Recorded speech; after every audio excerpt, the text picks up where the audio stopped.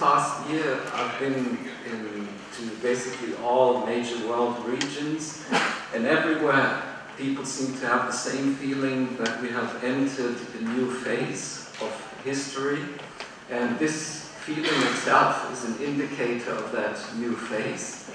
We are now basically in a multicentric and fully synchronized world which is entirely globalized.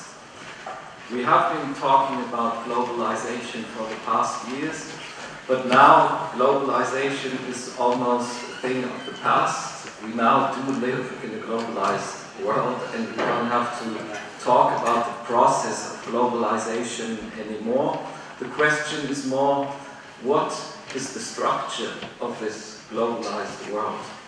Um, we already have an answer to this to a certain degree because the structure of the globalized world, of course, is um, a series of interconnected nation states which are mostly democratic and almost always capitalistic in uh, their organization and they all have similar structures, similar institutional uh, arrangements. So that question is basically answered to this degree. The question that we now have to address, what is the relation between the global and the national? This is the debate of the past years, I would say, and um, wherever you go, this debate is at the front, in politics, in academia, even uh, in culture and media. As a sociologist, I will address this uh, question from the sociological perspective as the relation between social structure and division of labor. And I will address this relation with regard to the global and the national. However, the focus will be on social structure as time is limited. The structure of my talk will be like this. First, I will talk about inequality because it's related to social structure. Then I will compare a few national social structures in order to find out how is the configuration of national uh, social structures today. And then I will relate this to the question of division of labor, but more precisely to the question of capital within the division of labor. And finally, I will offer some conclusions. So first about inequality. Thomas Piketty, I think you have all at least looked into his work, um, came up with the conclusion that there's a rather loose connection between capital and growth. More precisely, he argued that there is usually a negative correlation between the increase and concentration of wealth on the one hand and economic growth and human development on the other hand. Um, this is basically the situation today. We see an increase uh, in the concentration of wealth and an increase of inequality. And at the same time, we see a decrease in many regions of the world, especially uh, the global north, a decrease in growth rates and also a decrease in the investment into human capital and human development. This immediately links up with the preceding uh, talk by the minister. So Piketty has addressed the question, but he has not explained the process. Why? Because as an economist, of course, he focuses on economic indicators, but the economic indicators do not explain the process. They do not tell us why inequality is increasing. They do not tell us who holds capital, who holds wealth, and who doesn't. They do not explain us uh, how the process is actually evolving and they do not give us a clear picture of the structural reasons for inequality and for the distribution of wealth. This is what I'm going to address now in the first two parts of my paper. In order to understand what I will be arguing, I need to introduce three concepts. Class, social culture, and milieu. As far as class is concerned, I will draw on Max Weber's notion of social class, as opposed to an economic uh, understanding of class as income distribution or professional class, and as opposed to uh, the Marxist understanding of class as position in the, uh, division of labor, if you like. This definition of class is like my own definition, but it's based on Weber, and at the same time it's based on empirical research in um, six to eight countries around the world, in uh, four world regions. And we observed that there is a certain continuity of class position over many generations, and we observed that the longer capitalist organization of society persists, the less mobility there is between the classes. And this led us uh, to uh, establish a rather new definition of social class, which is this, and I will explain it. We talk of a tradition line because it's being uh, transmitted from one generation to the next. Usually the next generation has the same class position as the previous um, generation, even if the labor, the lifestyle, uh, the uh, mental patterns are completely different. The relative position in society is the same, but it's associated with a certain culture, and as I just said, the culture constantly changes with society. However, uh, there's also some continuity. We learn our patterns of thinking and action usually from our parents, and we carry some material, if you like, from our parents within us, and we transmit it to the next generation as well. And this leads to some continuity of mental patterns, of patterns of action, what Bourdieu called uh, the habitus.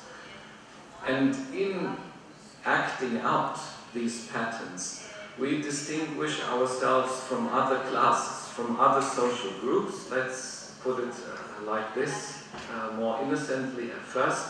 We distinguish ourselves from other classes and we notice when other people act completely differently, think completely differently, and we distinguish ourselves actively and passively from them, and we usually devaluate their behavior and thinking and uh, classify our ways of acting and thinking as better and more appropriate.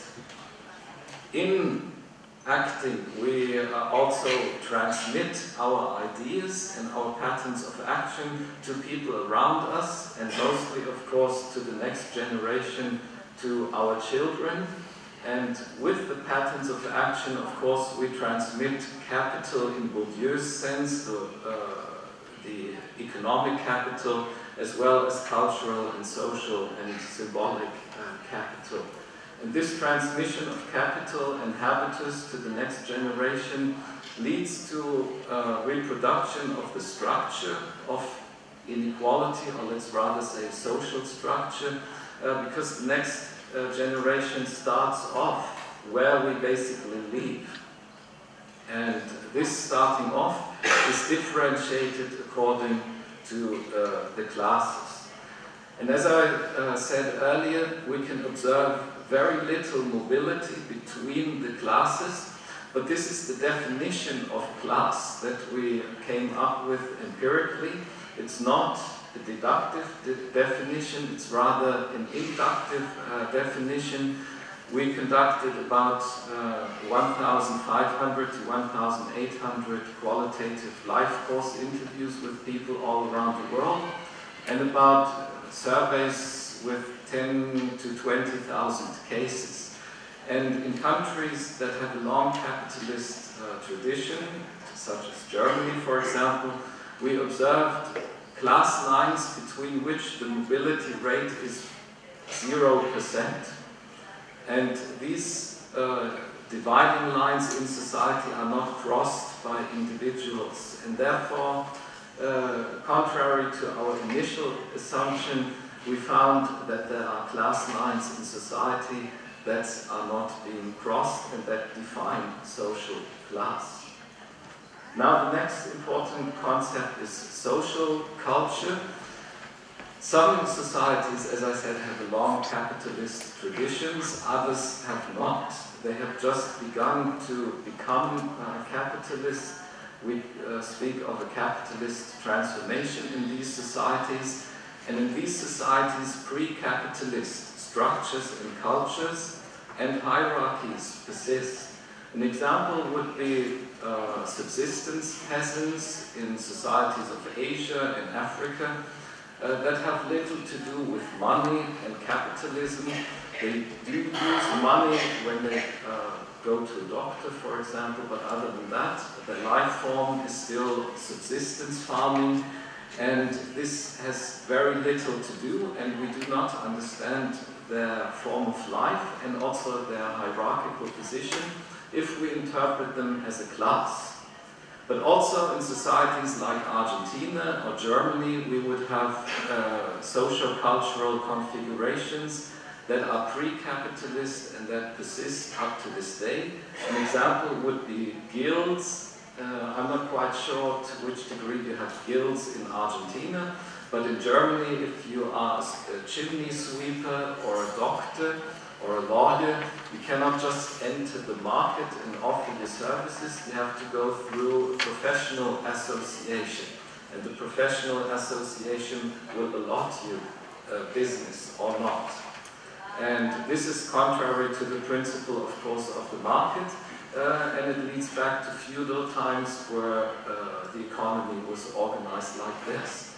This would be an example for pre-capitalist um, institutional arrangement of social structure which persists up to this day and informs our contemporary social structure. If we relate the social cultures and the classes, we can see that they intersect and that um, you have different cultures, different, um, say, life worlds within each class, according to the social cultures that exist uh, in the respective society. And we call these units milieus. You can also talk of uh, subcultural groups or subcultural environments where patterns of action are very similar to each other due to the historical roots of uh, the particular group. An example would be um, the misunderstanding or the lack of understanding between the generations, uh, which we can observe now. The young generation, which is very much attached to IT and grows up with mobile phone and computer and so on. And the old generation, which is very much analog, if you like, and uh, not, uh, does not have much affinity with IT two generations do not really understand each other in many regards.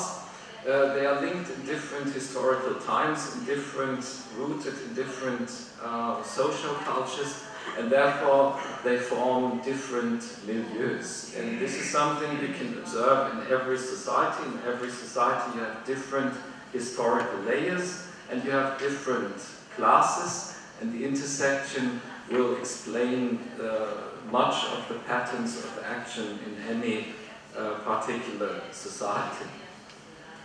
So now in this next part of my paper I will look at three of the societies we studied in depth and explain the uh, social cultures, classes and milieus in these three societies. We did not study Argentina, uh, but against the background of what I'm saying, you can get an idea of the possible structure also of Argentina.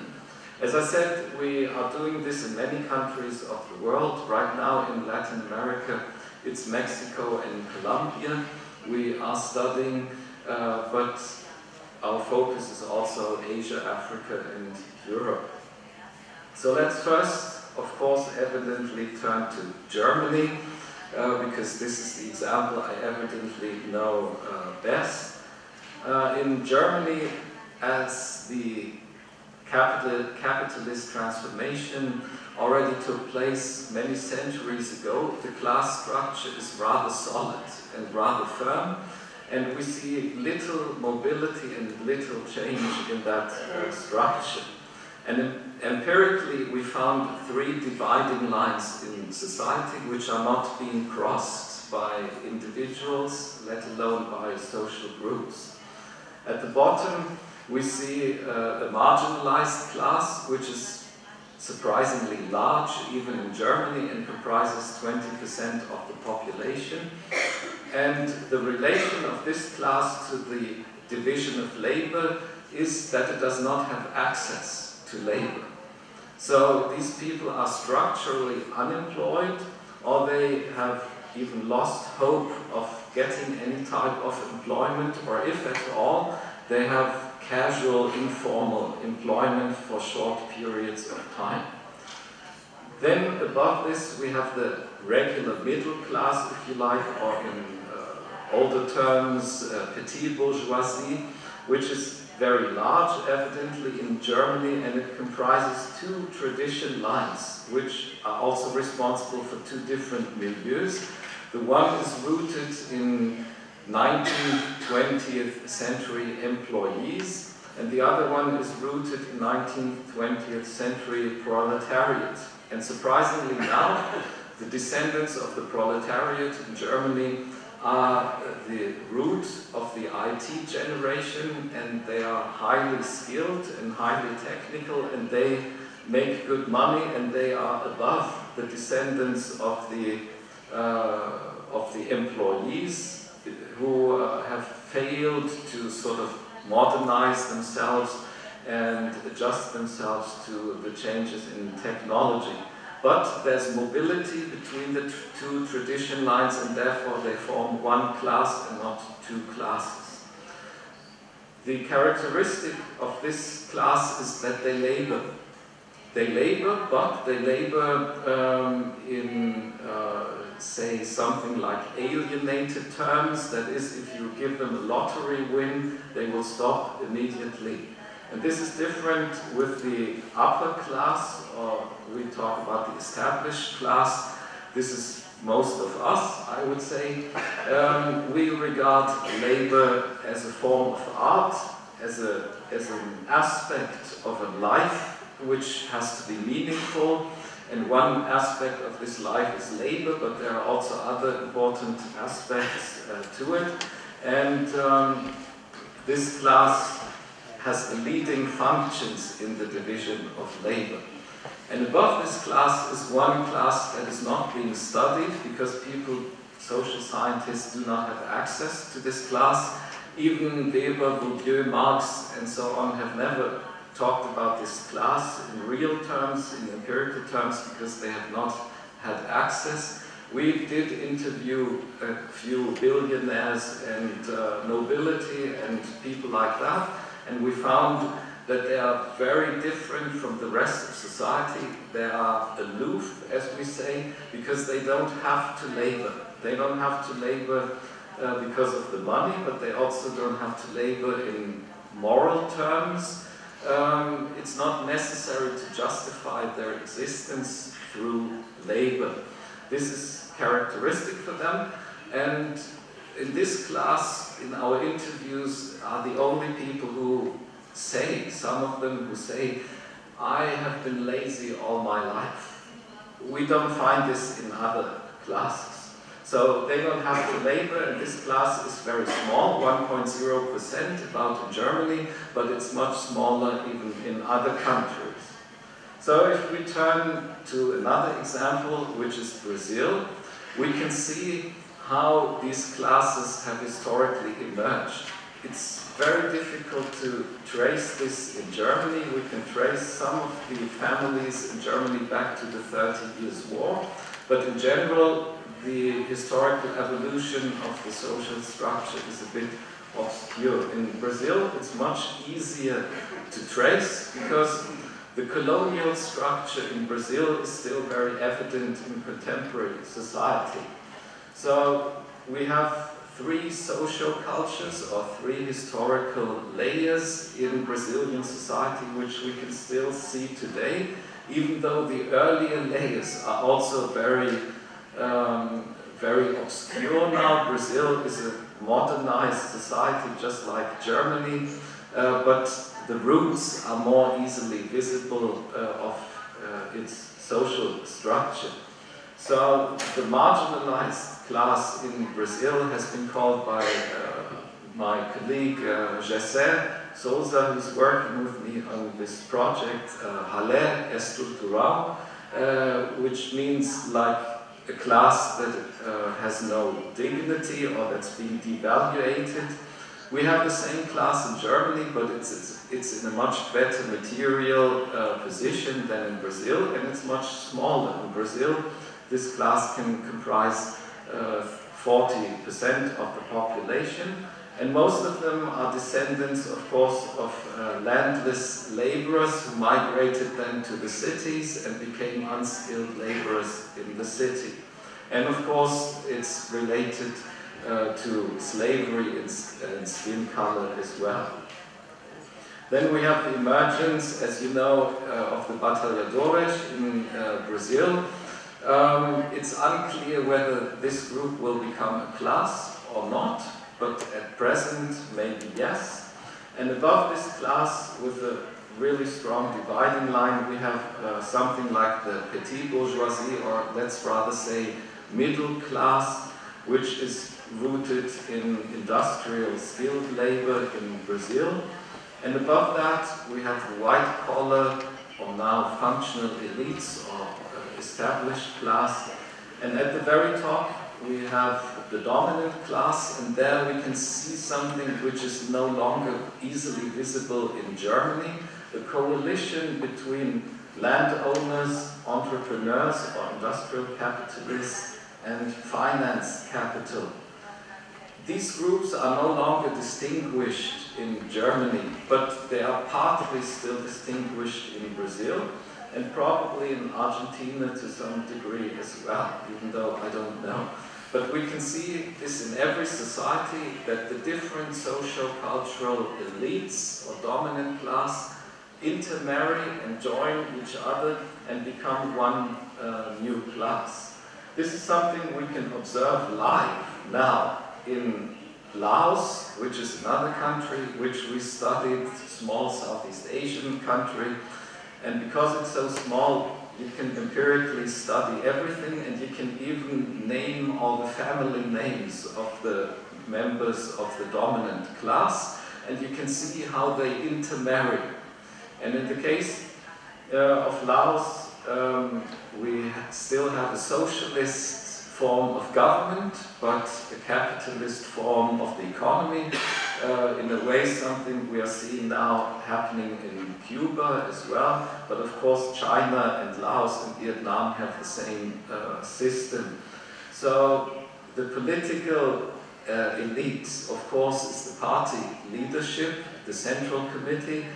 Uh, but the Central Committee also consists of some members of the earlier monarchy, and it also consists of new capitalists, and they intermarry.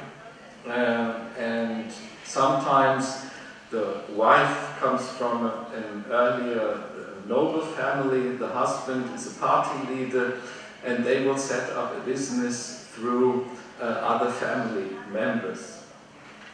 But at the lower parts of the, uh, of the society, we can see um, a development which is similar to that of Brazil, but we can see it live. We can see it happening now. What is happening is the entire society migrates from the left to the right, both in physical terms and in social terms. So people who are subsistence farmers in remote hills and belong to ethnic minorities, they migrate into the cities and become beggars there because they have no social capital. Subsistence farmers who are better off, they have family in the cities and the, these families organize their jobs. And above that, we have wealthy subsistence farmers who convert into uh, commercial farmers and are linked now to the uh, world market. And above that, we have a very, very small urban group, which used to be the officials in colonial and pre-colonial times, then converted into uh, socialist officials, and now they become the urban middle class. But these are very different social cultures, they function inside very differently. So only the right-hand uh, social culture is capitalist and is a class structure. And the rest of society, which comprises 80% of the population, is not organized according to class, but it's organized uh, according to the other social cultures. And this is true for every society to larger or smaller degree. In a developing society like Laos, it's very evident and visible. In a society like Argentina or Germany, it's less visible, but it's still there underneath the surface. Therefore, in Germany, we also can observe not only the hierarchical classes, but also um, horizontal divisions uh, according to milieu or according to the social cultural roots. In each of the classes we can see two different milieus, but the milieus reach also in the neighboring classes. So we have an upper class habitus which is uh, pretty common in all capitalist societies, which is the, say, bourgeois habitus, which we call achievement-oriented, and we uh, can distinguish from this new management style which is more ambitious and autonomous. And in the middle class, in the German uh, class of the fighters, we have the old style disciplined habitus, which means I have to work, I have to be normal, I have to be like everyone else, and I'm nothing special.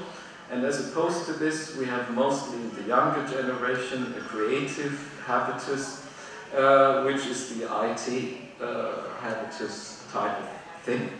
And in the lower class, especially in the marginalized class, we have one group which basically tries to make the best out of its position, and these people become criminals or gamblers or have fun or so. They, we call them hedonistic.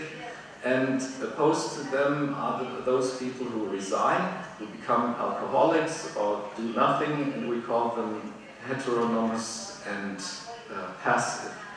So we can see these historical layers even in a society like Germany, and certainly this would be true for Argentina as well.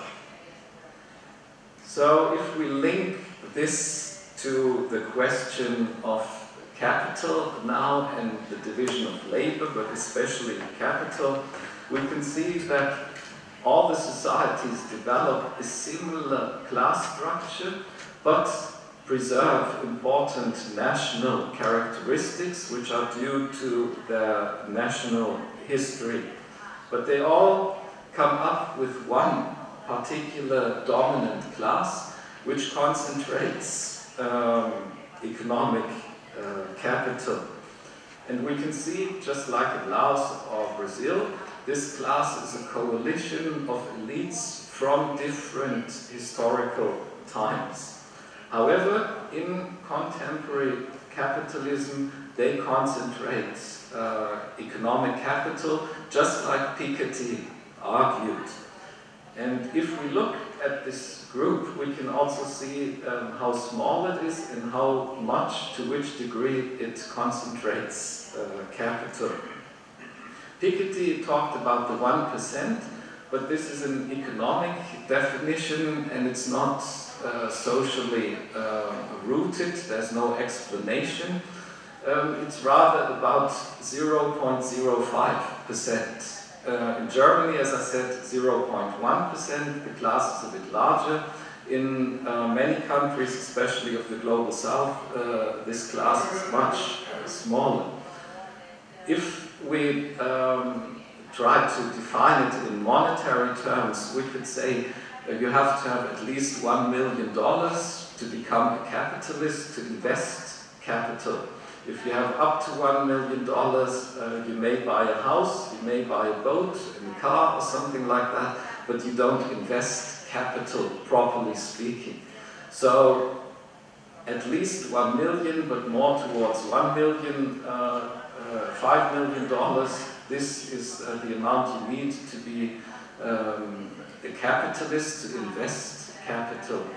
And of these people, 45% live in uh, or are citizens of the US, 24% uh, are citizens of Europe, and 10% of China.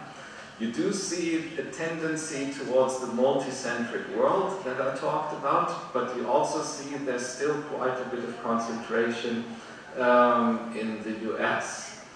And this group concentrates uh, economic uh, capital. This capital, as you know, becomes increasingly financial. That is, people can invest their capital around the world with short-term uh, profit interest.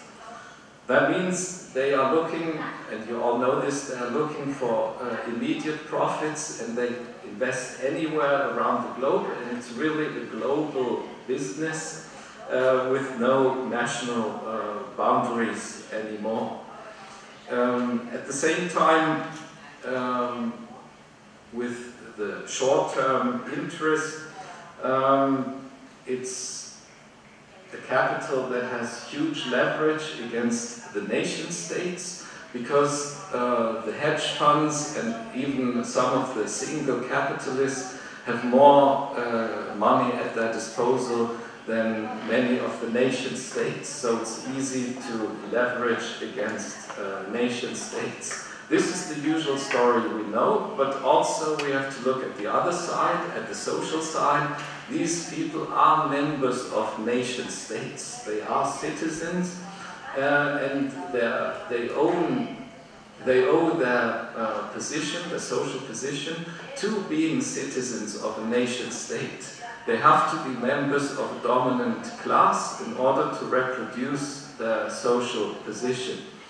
And that means their social position is dependent on their citizenship and also their leverage uh, in the global market is due or is linked to the uh, citizenship as well.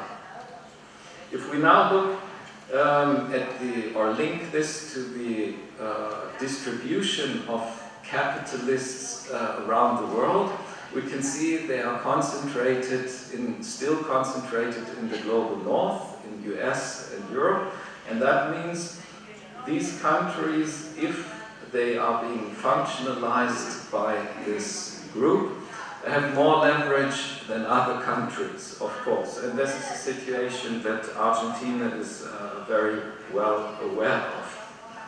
However, as I said, these are citizens and they are people and they are linked to specific societies and states. Um, and they have to reproduce their position in the nation state. And that means for the coming years, one of the most important questions will be the relation of this group to the nation states on the one hand and to globalization on the other hand. As I said, the group is acting globally in terms of financial capitalists. So there are no boundaries. But at the same time, they need the nation state to uh, exert leverage and to reproduce their social position. And we can see this ambivalence happening all the time. On the one hand, we see alliances across nation states between um, the capitalists, and at the same time, we see uh, attempts at closure, attempts at nationalism, attempts to define uh, the, uh, say, uh, sphere of action of this group. And related to this is also the current configuration of nationalism and globalism. Uh, on the one hand, we can see that within uh, the nation states, uh, it's important to retain decision power, and it's a good thing that the um, that the configuration is still one of nation states and not one of globalism, but at the same time, this uh, persistence of the nation state is also dangerous because it can lead to a conflict at any time, a conflict between capitalist groups, but also a conflict between nation states. And this is something we're seeing, we're very close to wars between nation states at this time, and this will continue for the next years. But at the same time, we also have coalitions and alliances across national borders that we have not had in these past uh, decades, actually. So I come to the conclusion the options for development. First, to summarize the structure uh, with regard to uh, wealth and concentration of wealth and dominant class. As financial capitalists, the dominant classes have no interest in development. But as members of the nation state, they need support, especially from the middle classes, because these are the largest uh, classes and especially the electorate. And for this support at this very historical moment, as we all know, they often draw on xenophobia and anti-globalization, on nationalism. This, of course, again, is a problem because it may lead to conflicts between uh, nation states, but at the same time it's also a chance because it allows for some leverage for the governments and also for democracies against concentration uh, of wealth. So if we link this to social structure and division of labor, uh, the configuration is one of nation states with converging social structures, converging class structures, uh, but also very particular um, social cultures that link differently to the national division of labor. But at the same time, these national uh, structures are linked to the global structure of wealth, where the leverage is very much uh, still concentrated in the global north, increasingly, of course, also in China and in India, uh, but still it's concentrated and it's very much outside uh, the, uh, the global south, or let's rather say the smaller nation states. This is really the problem. the leverage is outside the smaller nation states. But this means there are options because the nation state still persists. The first option the minister talked about, and I think uh, Argentina is very successful at this particular policy. Uh, the first option is to create attractive centers for capitalists, not for capital, but for capitalists, places to live and places to invest. Uh, this is something that Buenos Aires uh, does very successfully, and we can see this here. Um, people do want to live here, and people do want to work here, and it, it attracts not only capital, but also highly skilled labor. This is the discussion uh, creative class, smart cities, global cities, and so on. Uh, we know the story, however, there's a downside to this policy. This policy creates more inequality. This is evident, so it's a multi-centric world, which means it's not monocentric anymore, it's not US only anymore, but it's still a centric world. So Argentina has this problem, but all other countries have the same problem as well. The second, more ambitious uh, step would be to actually use the uh, fact that uh, wealth is linked to a social class. So financial capital can move without borders, but people cannot necessarily. And uh, any dominant class, as I said, is linked to a particular nation state um, and cannot simply leave. If you are um, an upper class, or let's say dominant class member uh, of Argentina, you cannot just go to the US or even to Angola or so and reproduce your position there. You can threaten, but you cannot actually do this. And policy uh, can make use of this uh, because there is some room of negotiation. And finally, and this is, I think, the only real solution to the problem, uh, global uh, policy uh, framework has to be established, uh, particularly directed against the dominant classes in the dominant states not necessarily against any dominant class, not necessarily against any state, uh, but against the concentration uh, of leverage of the rich nation states uh, that are largely dominated by uh, the small dominant classes in these states. I think this is something that has to happen within the next few years in order for the global south to have more scope at development. That's it. Thank you very much.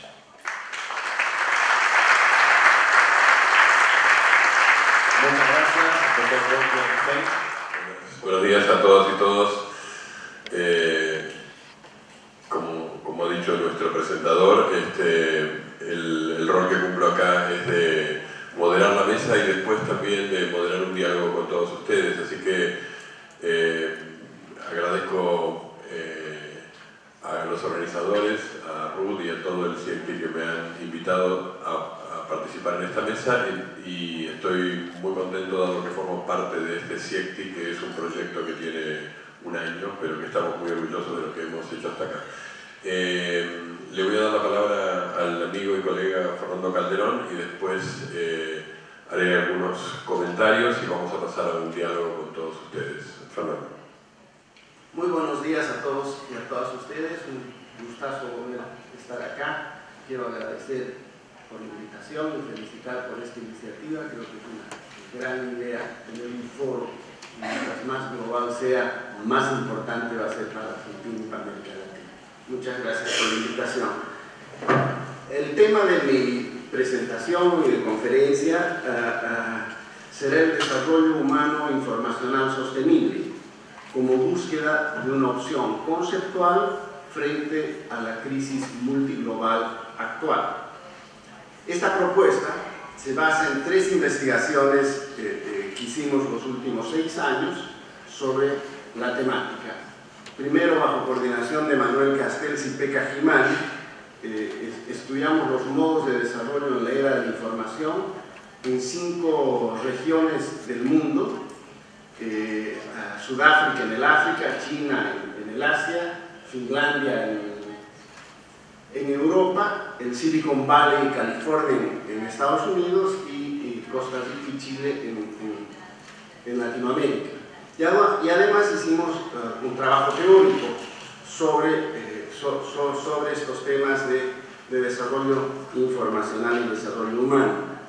Eh, el segundo tema de investigación, acabamos de terminarlo el año pasado, perdón, el primer tema acaba de ser publicado en español en el libro por Fondo Cultura Económica, se llama Reconsiderando el Desarrollo en la Era de la Información, coordinado por Peca y Manuel Castells, por Peca Jimán. La segunda investigación es una investigación que hicimos en 11 países de América Latina.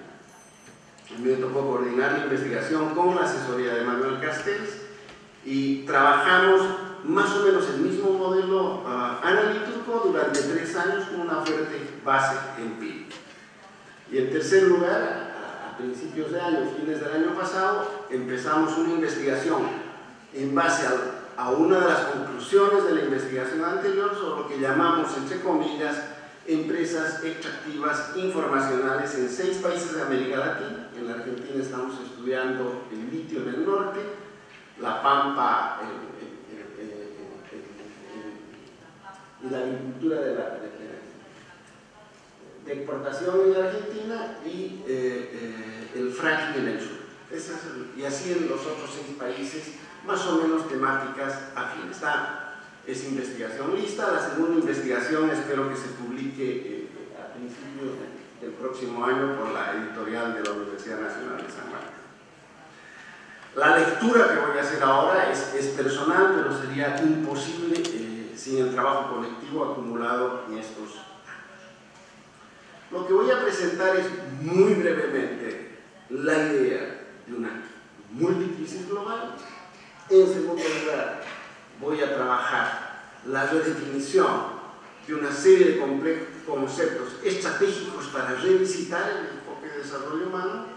En tercer lugar, voy a colocar tres o cuatro problemas sustantivos que tiene que enfrentar una renovación de, la opción teórica y finalmente un leve corolario sobre una pedagogía del desarrollo.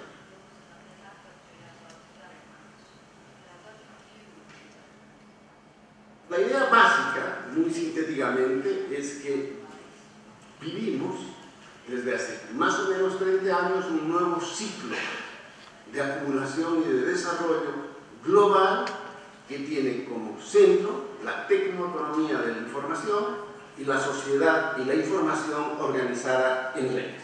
Y que esto funciona globalmente y tiende a funcionar en tiempo instantáneo y afecta al conjunto de la humanidad, aunque no esté vinculado a tales redes.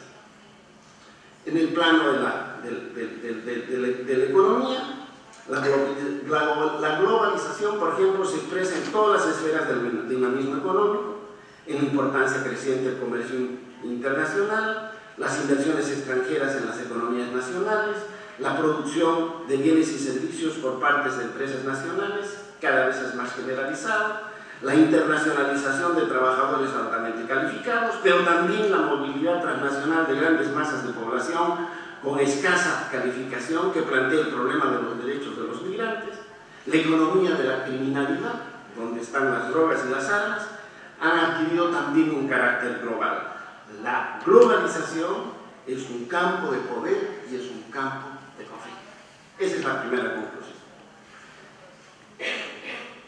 El nivel dominante de esta forma de acumulación durante estos 30 años ha sido crecientemente el capital financiero que ha subordinado a las economías productivas y de comercio y es el capital financiero además el que precipitó la crisis del capitalismo avanzado en el 2007, en el 2008 y del cual aún todavía no se está.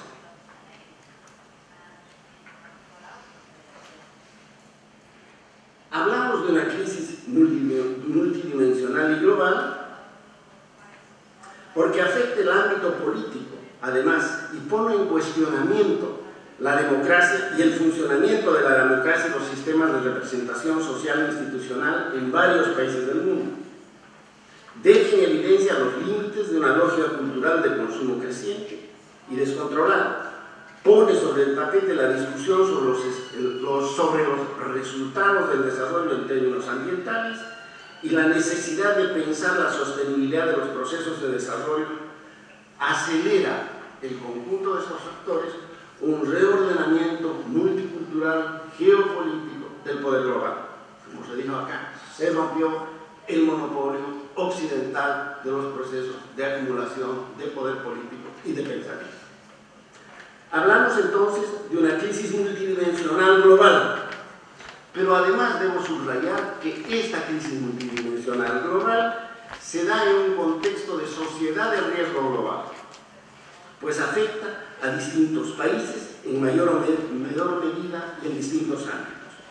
La crisis pone en evidencia situaciones globales de amenaza que afectan a la humanidad en su conjunto aunque de diversos modos, sin distinciones sociales, de género o de etnia. La destrucción del medio ambiente, por ejemplo, las guerras de nuevo tipo, las redes de narcotráfico, el terrorismo internacional, las consecuencias negativas de la energía nuclear, el papel estratégico de los servicios de inteligencia, como la misma expansión de la ciencia y tecnología en su propia e intrínseca ambivalencia, son fuentes de todo este riesgo que no están limitados a las fronteras nacionales y que por lo mismo las acciones circunscritas de los estados nacionales son insuficientes para entender este cambio global en riesgo. La producción, la sociabilidad, la economía de la sociedad está cambiando y sobre todo la vida de las personas. Por lo tanto, la crisis financiera es mucho más que una crisis de las finanzas. Es una crisis que pone en jaque la idea fundamental del consumo como lógica del desarrollo. La crisis financiera no solo destruye ahorros y empleos, proyectos de inversión de diferentes niveles, sino que deja al descubierto la idea de que los mercados globales no son un motor autónomo de crecimiento. Esta crisis produce una profunda recesión que en el plano social y político se tradujo, como dijimos, en un fuerte malestar y descontento y genera una explosión de conflictos globales a diferentes escalas. Como consecuencia de la crisis económica y social, también entró y se profundizó ya una crisis del modelo de convivencia multicultural a escala nacional e internacional. Ello se evidencia en un mayor rechazo a personas de distintos orígenes culturales en las sociedades desarrolladas. Los jóvenes quienes provienen de los países en desarrollo son quienes cargan con mayor costo la crisis. De manera creciente, la exclusión socioeconómica se justifica a partir de razones culturales o incluso racistas. Los partidos políticos y los grupos nacionalistas ultraconservadores que ven a los migrantes y personas de origen cultural diverso como amenaza han crecido en todos los países del mundo, pero fundamentalmente en Europa y en Estados Unidos. Por otra parte, los conflictos entre los países europeos y occidentales desarrollados con y entre los países árabes también generan fuertes procesos de, deterioro en términos de convivencia intercultural. paradójico, le decía Miguel esta mañana, aumenta eh, en todas partes el peso y la dinámica de la globalización con esta crisis multicultural y el resultado no es una secularización, el resultado es un crecimiento de la religión. La religión ha crecido en los últimos 30 años. Y fundamentalmente la religión musulmana. En conclusión de esta primera parte, la ultra sintetizada, a mayor complejización de la sociedad,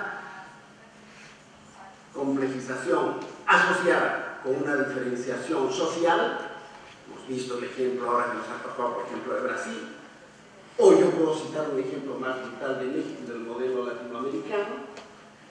Eh, eh, eh, el modelo latinoamericano es un proceso en estos últimos 20 años o 15 años que ha aumentado el nivel de concentración, ha bajado la pobreza y se ha mantenido relativamente la desigualdad. Entonces, en México, un ejemplo, hay un estudio del Banco Mundial sobre México, donde muestra cómo en, en, pleno fuerza de la crisis, en 10 años, entre, el 6 y el año, y el año 14, 2014, este, las 15 fortunas más ricas de México, las 15 fortunas más ricas de México,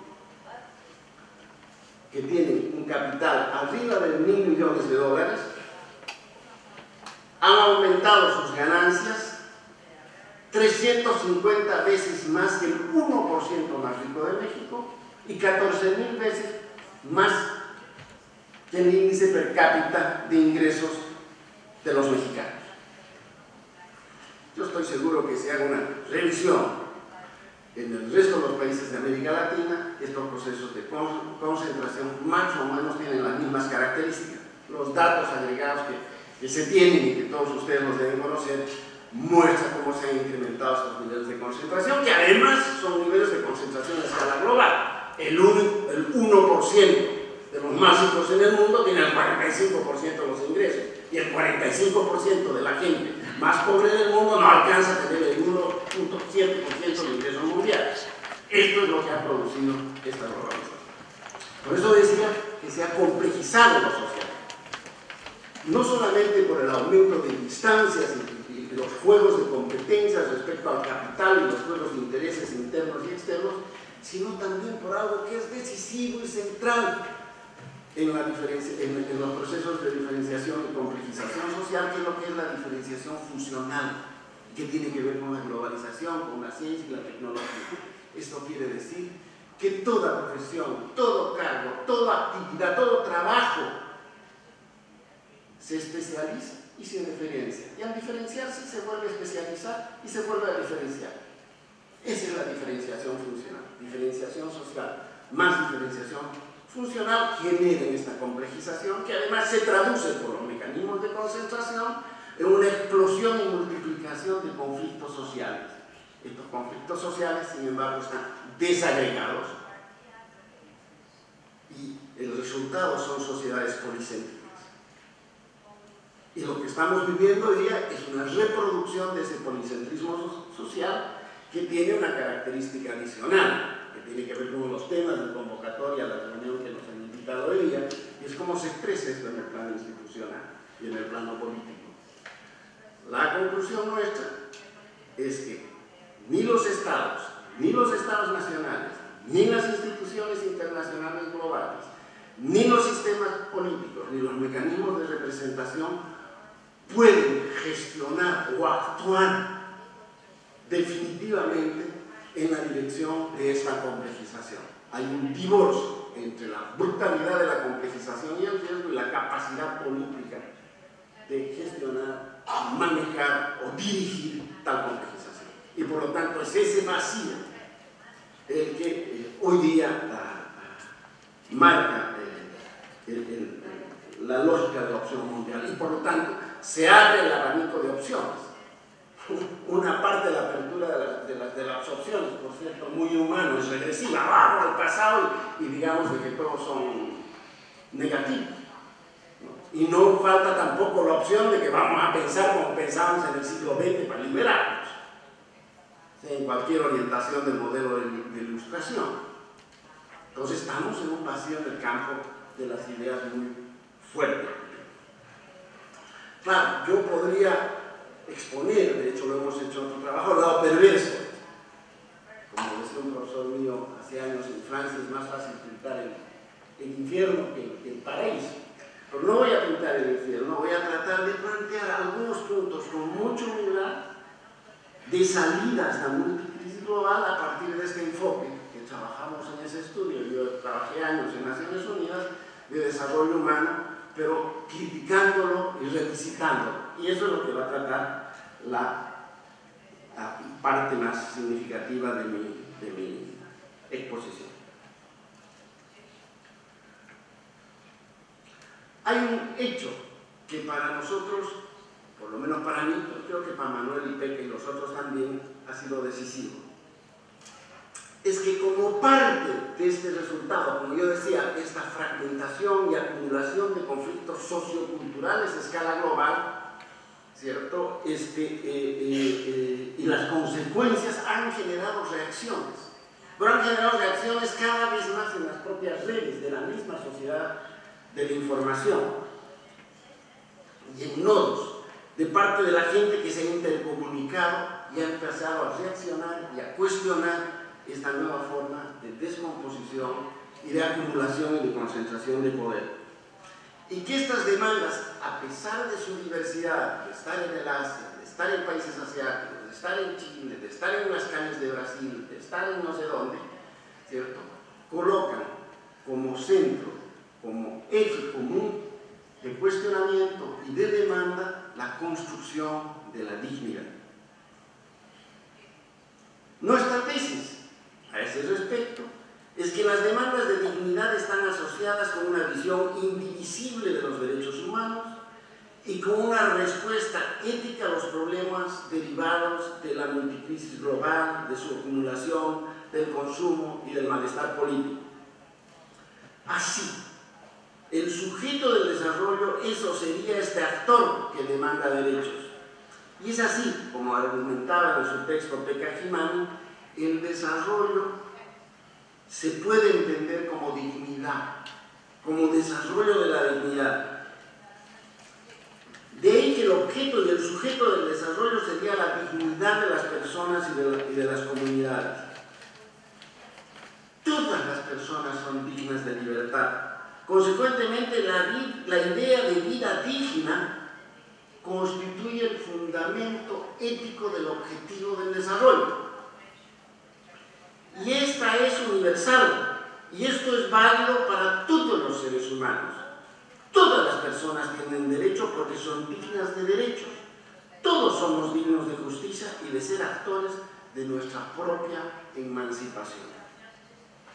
Como se sabe, el enfoque de desarrollo humano, deben saber ustedes, es un enfoque eh, eh, eh, crítico, es un enfoque interdisciplinario, es un, es un enfoque normativo, es un enfoque que hace análisis de situación, pero que plantea horizontes. Hoy día se retraduciría en la búsqueda de una mayor dignidad con un carácter global y local. La cuestión es cómo la dignidad se vincula con el capitalismo informacional, con la idea, dada la diferenciación social que hablé, de una igualdad compleja, con un multiculturalismo en descomposición y dinámico, con una nueva institucionalidad que no alcanza a construirse y con la sostenibilidad ecológica en medio de estas opciones de crisis del capitalismo global que tiene serios problemas de reproducción. Esto nos llevó a revisitar tres conceptos que a nuestro juicio son fundamentales en este enfoque.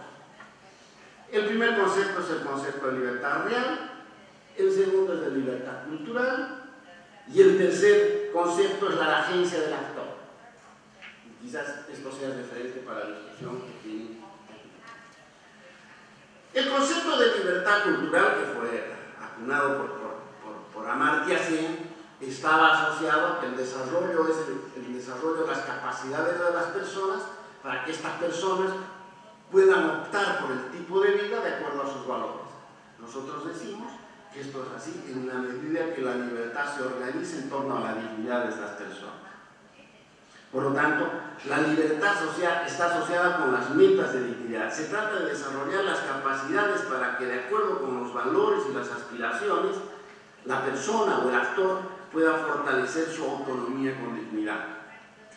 La libertad cultural, que es otro concepto central, no está relacionado con la libertad de elegir solamente, sino que la idea de elección supone la presencia de otro igual pero diferente a él.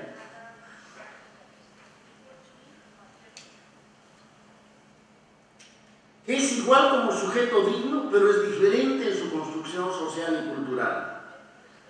En este sentido, la interculturalidad como convivencia entre distintos pero iguales es el que permite la libertad cultural. Y en tercer lugar, la idea de agencia del actor, o de un sujeto si ustedes quieren. No solo en términos de transformación, que es lo que teóricamente se trabajó, trabajamos en el enfoque de desarrollo humano, de la agencia con la capacidad de eh, lograr transformar las metas en resultados o en funcionamientos, sino como las formas y procedimientos que estos, en los cuales estos resultados se plasman. En ese sentido, el proceso de construcción de un fin es tan importante como el resultado. Aún más, el fin es inseparable del medio. Y aquí, la idea de innovación supone la capacidad de creación del sujeto respecto de su propio desarrollo. El sujeto no es absolutamente libre, ya que recordamos a Optimer. No es absolutamente libre, pero tampoco está totalmente determinado. Es la tensión entre la autonomía y la determinación estructural la que, la que permite determinar el campo de lo posible.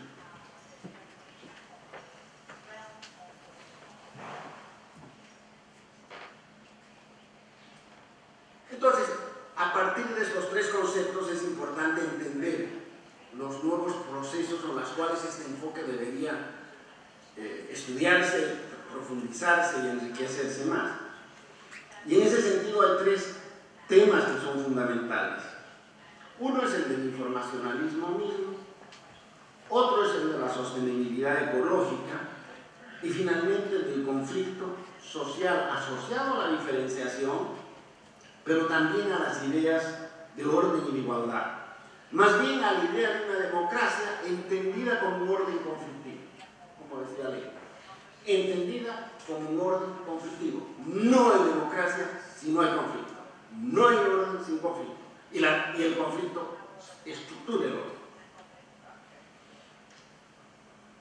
El desarrollo informacional es un proceso de desarrollo que se corresponde con la lógica de la acumulación capitalista una vez que el desarrollo previo industrial entró en crisis. Según Castells, el desarrollo informacional se basa en la producción e interconexión de empresas, personas y organizaciones en redes que tienen la particularidad de poder actuar en tiempo real desde cualquier lugar conectado del planeta se basa en tecnologías de información y comunicación sin las cuales sería imposible, pero como se mencionó antes, no es consecuencia necesaria de las mismas. El informacionalismo no reemplaza el modelo de desarrollo industrial, sino lo incorpora progresivamente en su lógica. Hoy, para que los procesos de industrialización en América Latina sean sostenibles, deben integrarse a la dinámica informacional. Y en ese sentido debo decir por mi propia experiencia del pasado, las ideas que produjo la CEPAL y particularmente Fernando Faisilde en esta idea de transformación productiva con equidad son estrategias para entender este salto. Y él empieza a plantear y empezó a plantear hace algunas décadas atrás idea. El informacionalismo se basa en la capacidad de elaborar y procesar información generando conocimiento claves tanto en los resultados de los procesos de producción, distribución y consumo, como en la organización de tales procesos. Asimismo, se basa en la interconexión y comunicación a escala global que agiliza la difusión y expande los nuevos descubrimientos, al tiempo que los genera desde distintos lugares con distintas intensidades. El informacionalismo está redefiniendo las relaciones sociales de poder y todos los términos del desarrollo. El informacionalismo es pues producto de la revolución científica tecnológica, sobre todo de la microelectrónica y la ingeniería genética, que ha tenido un impacto absolutamente transformador en los procesos de comunicación a través de la digitalización de las computadoras. Y en la medida que la información y la comunicación son las dimensiones fundamentales de la actividad y de la organización humana, un cambio revolucionario en las condiciones materiales de sus desempeños afecta el campo entero de toda actividad humana. Precisamente, la capacidad de combinar información y conocimientos que provienen de una multiplicidad enorme de campos y fuentes y hacerlo en términos del tiempo real es lo que permite la innovación en la era informacional la innovación está vinculada a las condiciones de creación por parte de la sociedad sobre sí misma, así como al desarrollo de actores informacionales diversos y muy a menudo contradictorios. Esto es lo que hace posible incrementar el conocimiento en todos los ámbitos de manera multiplicadora, así como aumentar la relación entre los distintos aspectos del conocimiento y, en nuestro juicio, para nuestro juicio del desarrollo humano. La posibilidad de generar un nuevo valor se vincula con la capacidad creativa que la fuente que produce nuevo conocimiento. Aquí radicaría uno de los elementos fundamentales en la, de la actualización del enfoque de desarrollo humano, la expansión de las capacidades creativas en el informacionalismo y en sus múltiples dimensiones es la que permite impulsar un nuevo tipo de desarrollo, el desarrollo humano informacional por tanto, la creatividad genera nuevos significados y conocimientos que son los que producen la innovación y el desarrollo. Ahora, claro, la innovación no es mecánicamente tecnológico-científica, ella se produce a nivel social, organizacional y particularmente cultural. La innovación se vincula además a las capacidades culturales, sociales, educacionales, de agencia de los actores individuales y colectivos, por lo que resulta fundamental el contexto en la creatividad individual y social. Todos estos cambios y todos estos suponen una serie de códigos de modificación. Cabalmente, cuando trabajamos hace años en la CEPAL y un argentino trabajó con nosotros, introdujo el concepto de, eh, de la educación y el conocimiento como eje de esta transformación productiva. Y esta educación y conocimiento como eje transformador tenía un piso básico que le llamó los códigos de la modernidad. Esto quiere decir que si la gente no tiene la capacidad de un nivel básico de capacidad reflexiva y de manejo abstracto de las operaciones básicas, no teníamos un piso fundamental para dar el salto en educación. Es tan importante la educación primaria como la universitaria. Eso nos decía eh, eh, la argumentación de la tesis. Y por lo tanto, el peso de la educación eh, es fundamental.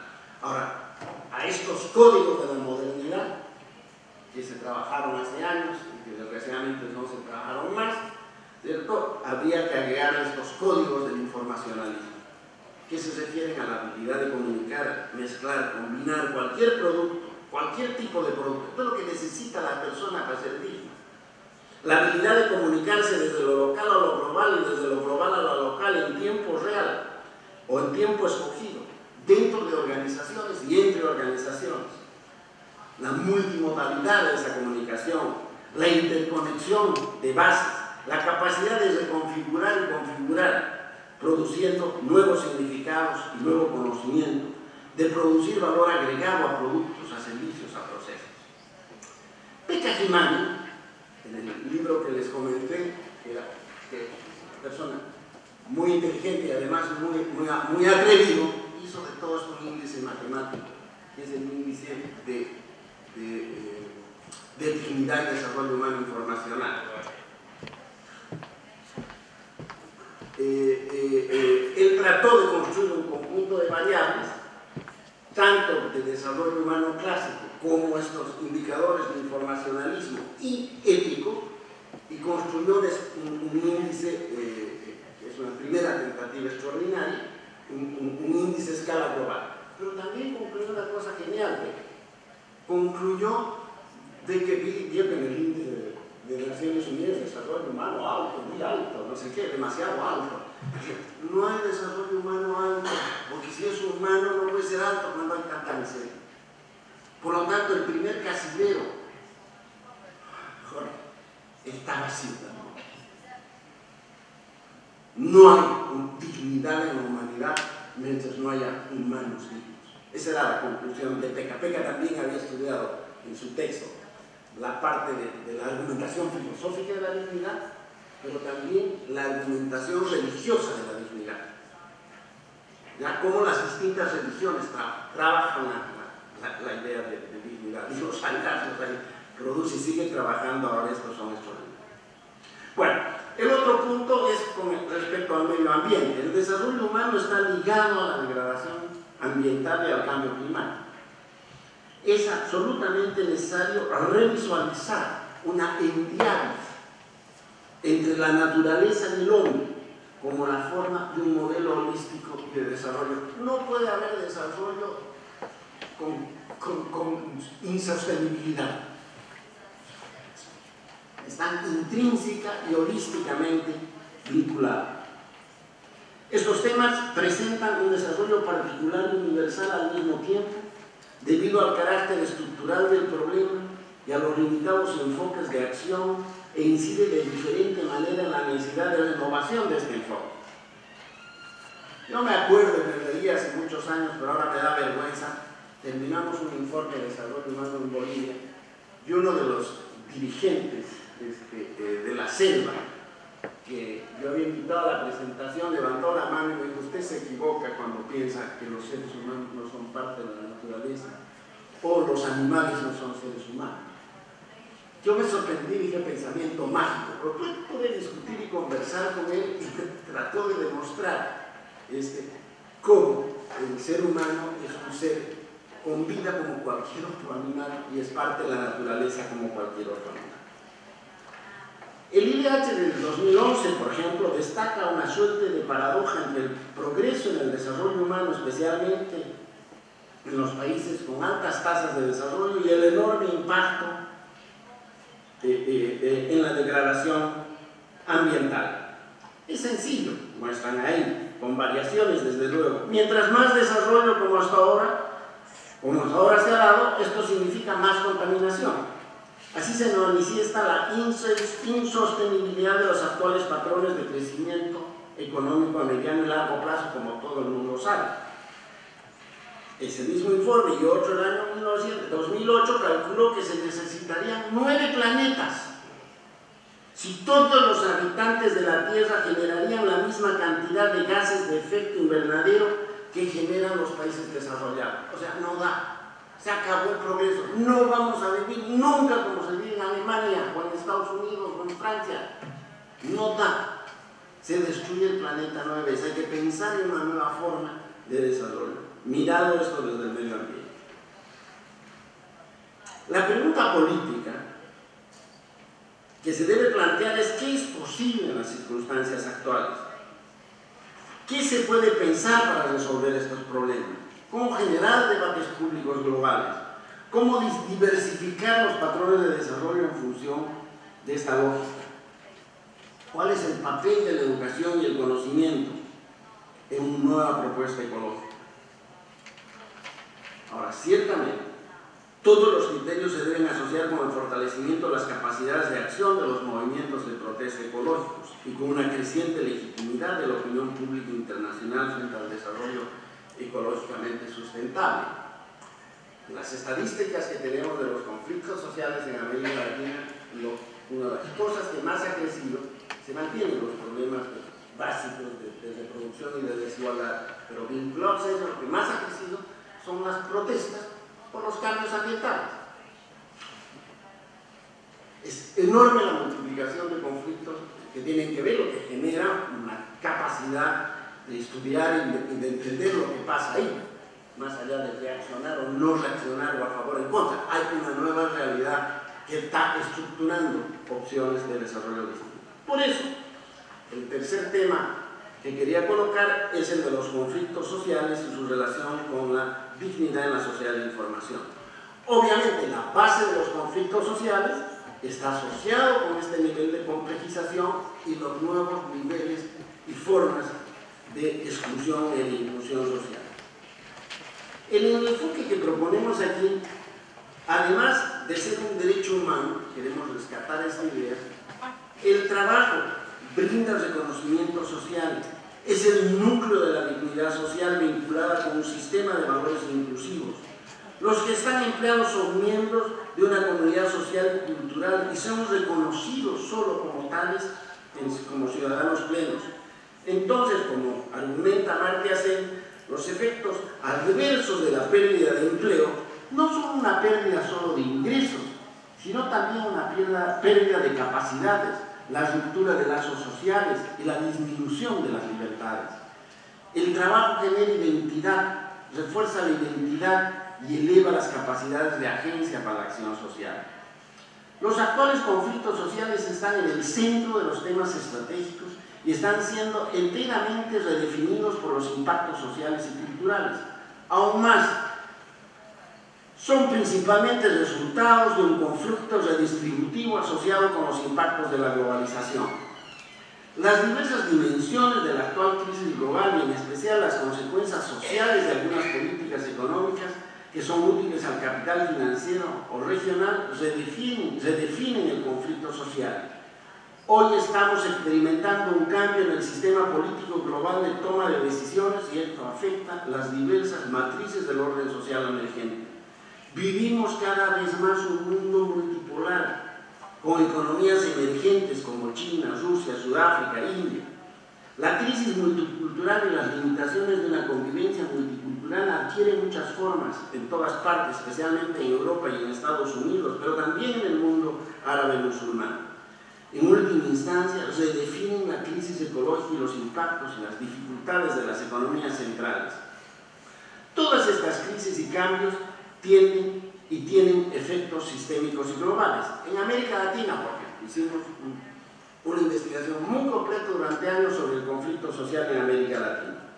Ahí se concluyó que no solo existe el mantenimiento de los clásicos conflictos asociados a la reproducción social, a la inclusión, a la legitimidad institucional y al orden multicultural, sino también conflictos que combinan, combinan una lógica nacional contra los estados y los poderes internacionales con otra lógica que se basa en lo global en función de una anti o una alta globalización.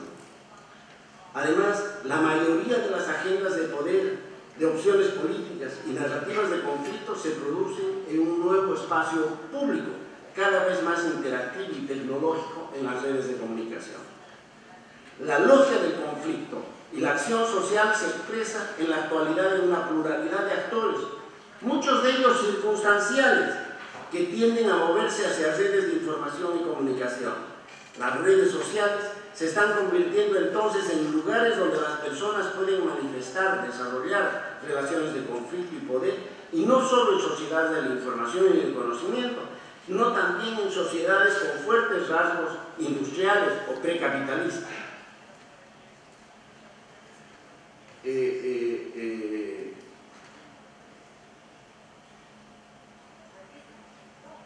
en general, en los informes de desarrollo humano, o en, la teoría del desarrollo, se ha conseguido, poco el papel estratégico de los conflictos en el desarrollo. El tema del conflicto para nosotros es uno de los temas centrales, uno de los factores decisivos para entender las posibilidades de desarrollo. Han surgido más bien en el nivel subregional o nacional. La teoría de la agencia social solo asume implícitamente el tremendo poder que los conflictos tienen en la viabilidad de las estrategias de desarrollo. Por lo tanto, la lógica del conflicto es transversal a esta lógica de complejidad en esta crisis multiglobal que yo hablé en un principio. Y para terminar, quiero decir que este enfoque de, renovación presupone sobre todo el mantenimiento y la adaptación de ideas de los cambios en esta crisis multiglobal. Descansa quizás en una cultura de pedagogía del desarrollo y se centra en la renovación de las capacidades de agencia de actores individuales y colectivos para combinar espacios locales con espacios globales y áreas históricas con innovación cultural y tecnológica, y una lógica de resultados centrada en valores de dignidad y horizontes subjetivos abiertos. Esto implica, por una parte, mantener, fortalecer una reflexión orientada por valores prácticos de resultados y, por otra parte, una reflexión teórica basada en normas abiertas de desarrollo humano que apunten a lograr dignidad como condición de emancipación. La dignidad y la libertad, por tanto, son sustantivas, porque están abiertas a varias opciones en relación con los actores, sus habilidades, sus destrezas, para manejar los códigos de las sociedades de la información y sus capacidades de creación. Pero también son procedimentales, porque implican experiencias deliberativas para elegir opciones y metas en términos de resultados y porque permiten la optimización de intereses particulares. La deliberación entre diferentes es un modo de creación e innovación sustantiva en el desarrollo. Los acuerdos que puedan surgir serán más exitosos cuanta más alta sea la contribución de múltiples actores.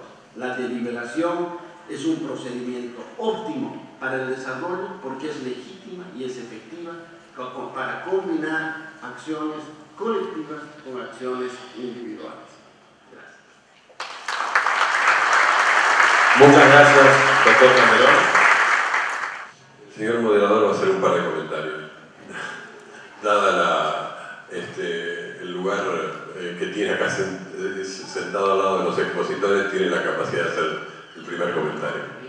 Este, y luego pasaré a leer las preguntas que nos han acercado. Eh, son dos o tres observaciones nada más. A las exposiciones que han hecho los colegas Fernando y Boyke, este, que diría eh, en su conjunto que no son eh, exposiciones que nos dejen tranquilos.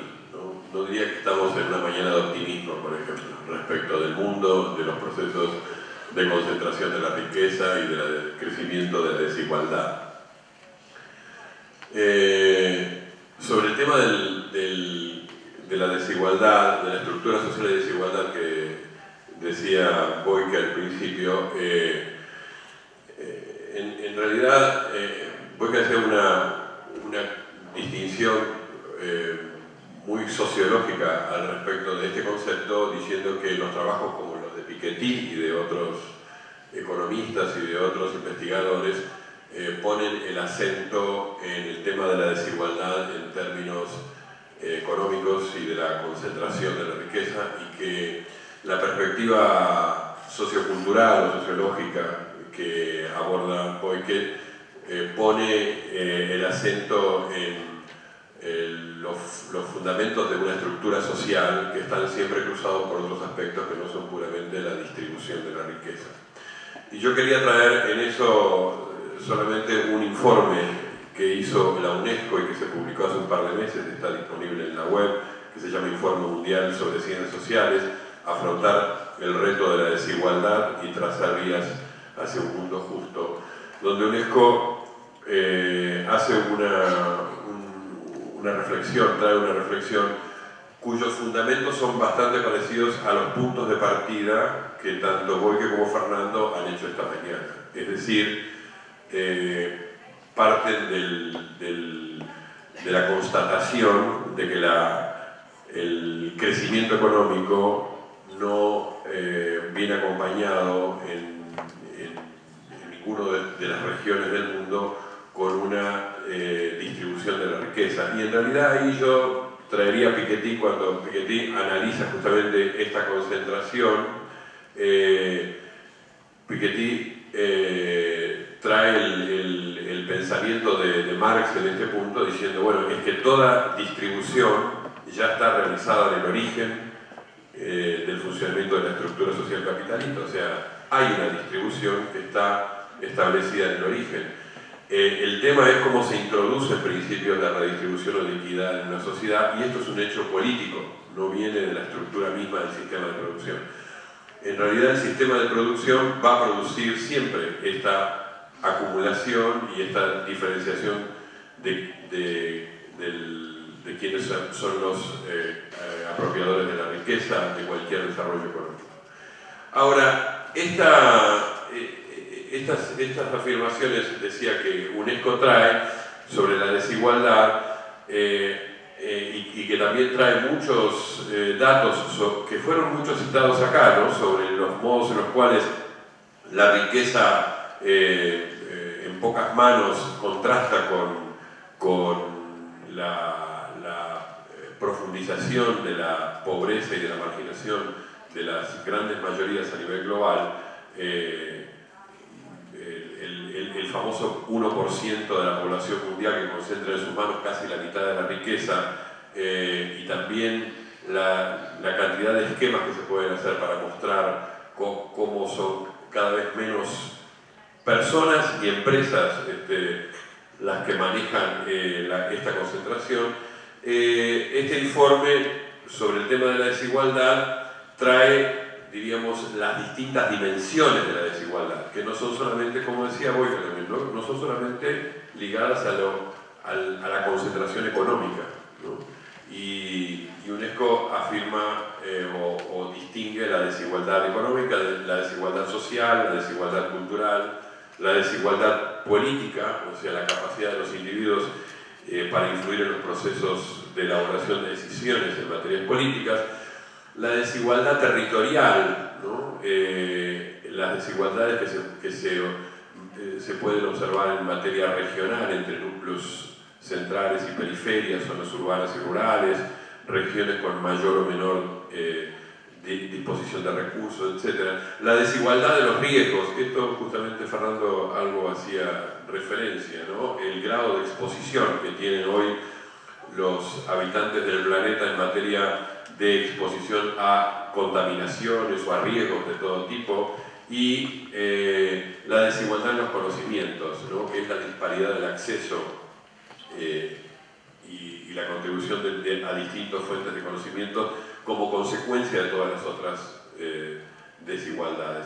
Es decir, que este concepto de la desigualdad tiene una, complejidad que me parece que, que efectivamente detrás de esas cifras fuertes, de esos trazos gruesos que dan las que muestran las desigualdades en la concentración de la riqueza, hay un conjunto bastante complejo de desigualdades que se dan en otros terrenos y que una mirada justamente más sociológica, como la de Boyke, me parece que nos permiten ver eh, las, distintas dimensiones de este concepto. Eh, tiene una, una visión, diría yo, eh, uno podría decir pesimista respecto de la capacidad que muestra hoy el mundo de, eh, eh, tener sociedades donde la, eh, movilidad social pueda constatarse y donde pueda ser una esperanza de que las sociedades hoy le dan a los ciudadanos posibilidades de ascenso en la escala social, él muestra cómo, a partir de su estudio, cómo en realidad lo que hay son sociedades más rígidas respecto de la movilidad. Ahora, eh, en la exposición de Fernando, que me parece que tiene, que toma otras dimensiones y que, que parte de esta constatación también de este nuevo ciclo de acumulación global en el cual vivimos, yo diría que, que en, la presentación de Fernando eh, también hay algunos, algunos elementos comunes, tanto en lo que señala UNESCO en su informe, eh, como en, otras, eh, en, otros abordajes más sociológicos o, socioculturales referidos al tema de las consecuencias de la globalización desigual y que tienen que ver, por ejemplo, con esto que plantea Fernando del crecimiento de la sociedad de riesgo, ¿no? en un sentido también bastante similar a lo que plantea UNESCO. Y en esta sociedad de riesgo está la, la, eh, un discurso que ha sido, como él mismo lo señaló, movilizador de muchos de, muchos de lo que son hoy la protesta social a nivel global, que tiene que ver con la sustentabilidad ecológica o ambiental y, cómo el capitalismo ha llegado a un grado de desarrollo que pone eh, en riesgo la sustentabilidad misma del planeta y además con un modelo de crecimiento que está archidemostrado que sería imposible que abarcara a los 7 mil millones de habitantes que tiene la Tierra. Sin embargo, yo diría en ese punto, sin embargo, el capitalismo sigue funcionando así.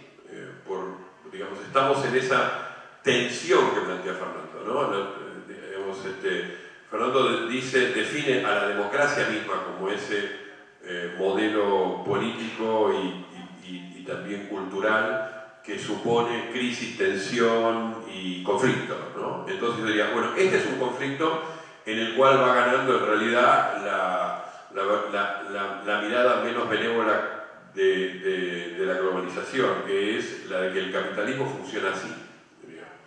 Eh, la, otra cuestión que dice Fernando que quería subrayar es el, el tema de, de, los, de quiénes son los actores que reflexionan o trabajan en este espacio público global o local, para usar el término de Castel, ¿no? con una escena nacional, con una escena regional y con una escena global.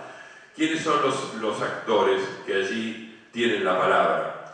Y en realidad, eh, en, la misma exposición de Fernando termina con esta idea de una eh, deliberación y de una, de una suma de mayores voces en esa deliberación y de mayores actores. Sin embargo, yo diría como contraposición que el mundo parece comprimir o restringir la, capacidad que tienen los actores, sobre todo los actores sociales, en intervenir eh, en estos debates. No intervenir en el sentido de que si de, de aquellos que, por ejemplo, tienen una visión optimista respecto de las redes sociales, de la digitalización, etc. E incluso optimistas respecto de las, de la, digamos, de las movilizaciones sociales callejeras que se han dado en, en la última década, sino en aquellas escenas donde se toman efectivamente decisiones que tienen que ver con el modelo de desarrollo que estamos siguiendo. Y ahí me parece que el, eh, uno de los puntos que marcó Fernando y que me parece que está muy presente acá es, es el tema de la crisis de los estados nacionales como esas escenas de, de deliberación o de toma de decisiones. En realidad, la, complejidad que tiene hoy la institucionalidad global tiende más bien a anular las escenas de los estados nacionales.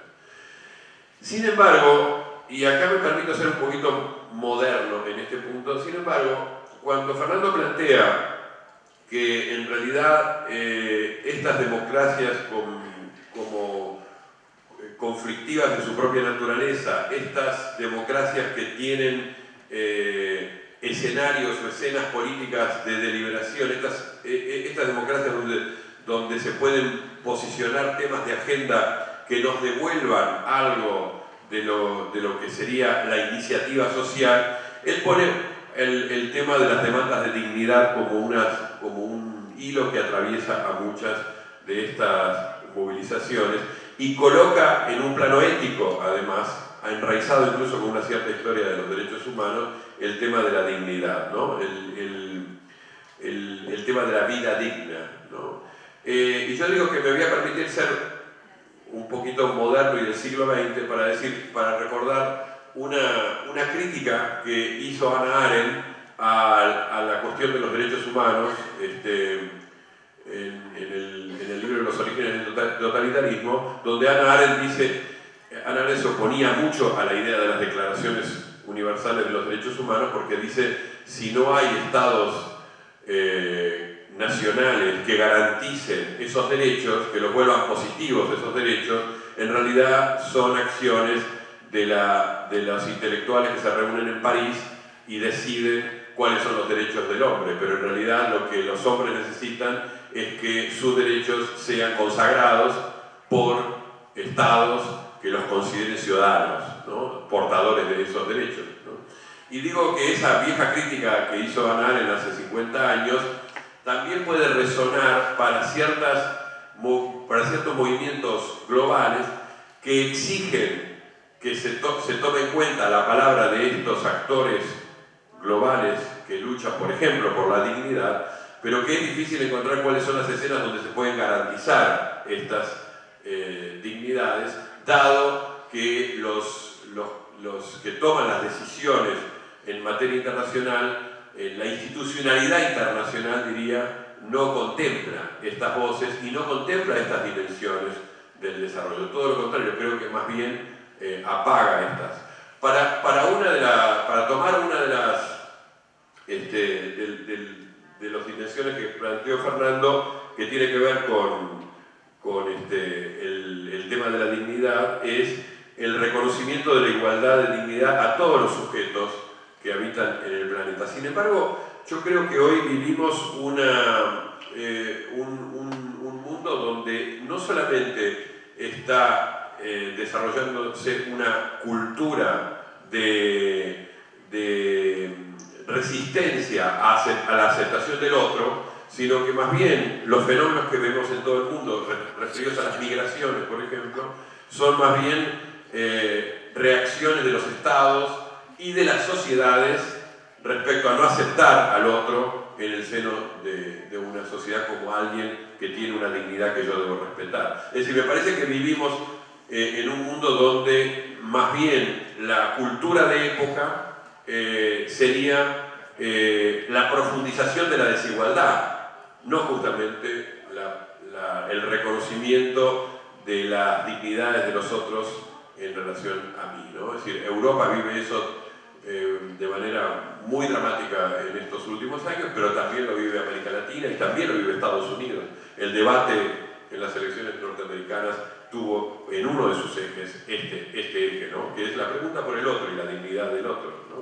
Eh, y, la, y, la, la, construcción de la identidad propia este, como una fortaleza de una nación. ¿no? Entonces digo esto para mostrar tensiones y, y, para terminar diciendo que eh, aún eh, digamos, siendo optimista respecto de algunos cambios que se pueden producir a raíz de estas movilizaciones, yo diría que seguimos teniendo una pregunta que es del siglo XIX y que es del siglo XX, sobre todo del siglo XX, que es la tensión entre capitalismo y democracia. Si es posible que el capitalismo sostenga los valores y los principios democráticos, incluso de la democracia liberal más tradicional, eh, o al revés, ¿no? si la democracia no cuestiona los principios de la democracia, no cuestionan al capitalismo de un modo el, capitalismo este, para su desarrollo justamente lo que hace es eludir las escenas de la decisión democrática y de crear escenas de decisión donde no participamos, participamos todos. Bueno, esas eran las reacciones que yo quería dejar acá en la mesa eh, y ahora, eh, gracias, y ahora eh, voy a leer algunas de las, de las este, preguntas que ustedes nos han hecho llegar y después le daremos la palabra a Boyke y a Fernando. dice Boyke y Fernando suponen diferentes visiones del orden global, sus características y dinámicas, cómo podría jugar eh, un CTI para eh, articular salidas en materia de desarrollo en, estas, eh, en estos distintos escenarios. Y leo otra para Fernando, de acuerdo al desarrollo que hizo sobre la dignidad del individuo, ¿qué piensa que favorece más al alcance de esta dignidad, las políticas multiculturales, como en Canadá, o aquellas del meeting pot, como en Estados Unidos. Bueno, eh, empiezo con estas dos preguntas y con la reacción y le doy la palabra primero a Boy y después a Fernando y después leeré algunas de las otras que ustedes nos han hecho llegar. Uh, first, let me react just uh, briefly to your comment because you said I am not optimistic. I'm even much less optimistic uh, than you think, um, because I would say that a lot of the, say, initiatives at solving the problems go into the wrong direction and do not solve anything. Even the UN, uh, and in this case UNESCO publications on inequality, I would say uh, do not aim at solving any problem, but managing problems. Uh, they deal with numbers and they think that changing some numbers, a few percentage points, less poverty here and more human development there, solve the problem. But of course, they don't. And uh, this is major issue, I would say. And I would also say that the structural um, inequality, but also the, the, structural, say, problems associated with capitalism that Fernando uh, referred to are much deeper and are much more difficult to solve than we might uh, think. And with regard to the contemporary situation, I would also say that the two options I was talking about, either nationalism in the sense of xenophobia, but also in the sense of, uh, say, more inequality and deepening indignity for the undignified classes and so on, versus free global financial capitalism. Uh, this particular, say, option either this or that, um, is not a very good scenario. Uh, you can choose one, more nationalism, or you can choose the other, more globalism, and both will end in ruin and in catastrophe, that's for sure.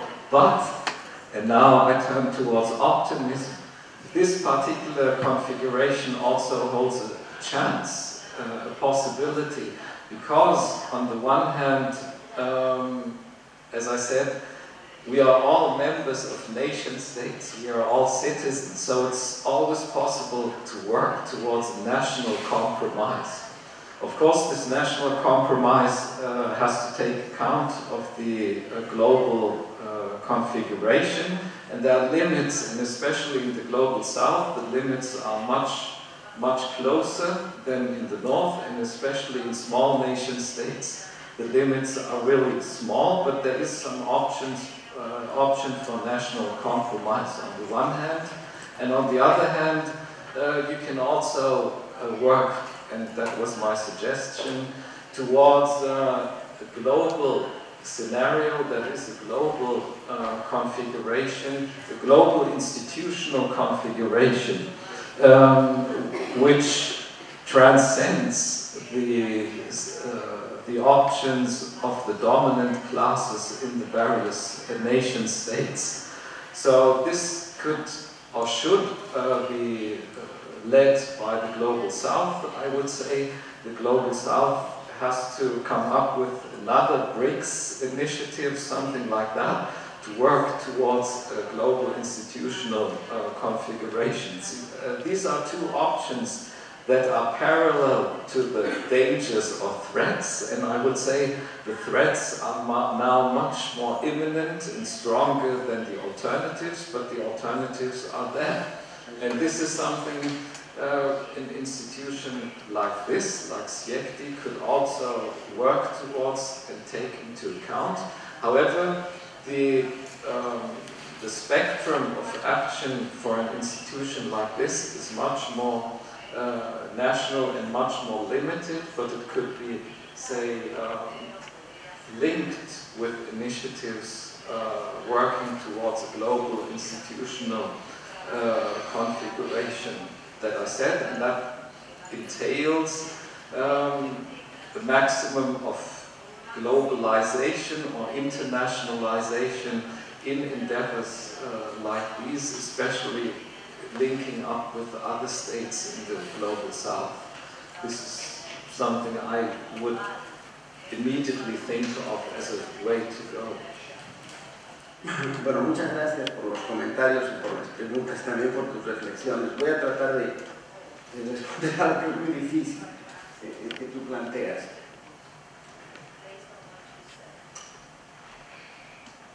Yo aprendí que uno no puede confundirse con el actor.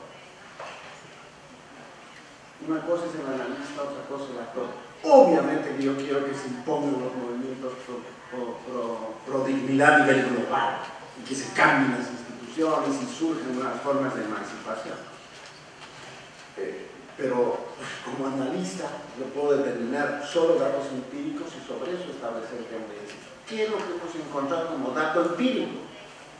Que las nuevas formas de acción colectiva son más culturales que sociales, por ejemplo.